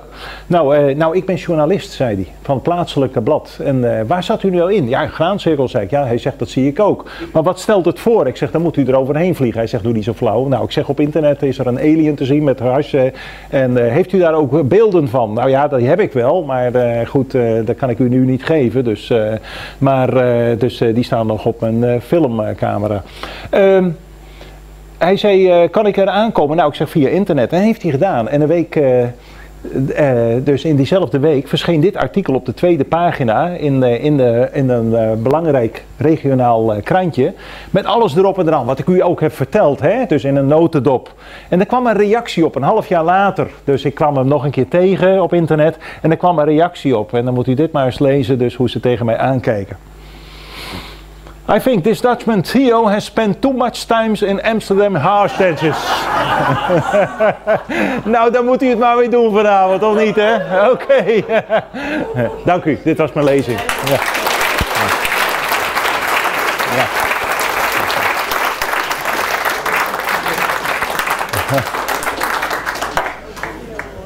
Nou, ja, het wordt laat hè, denk ik. eh, Maar ja.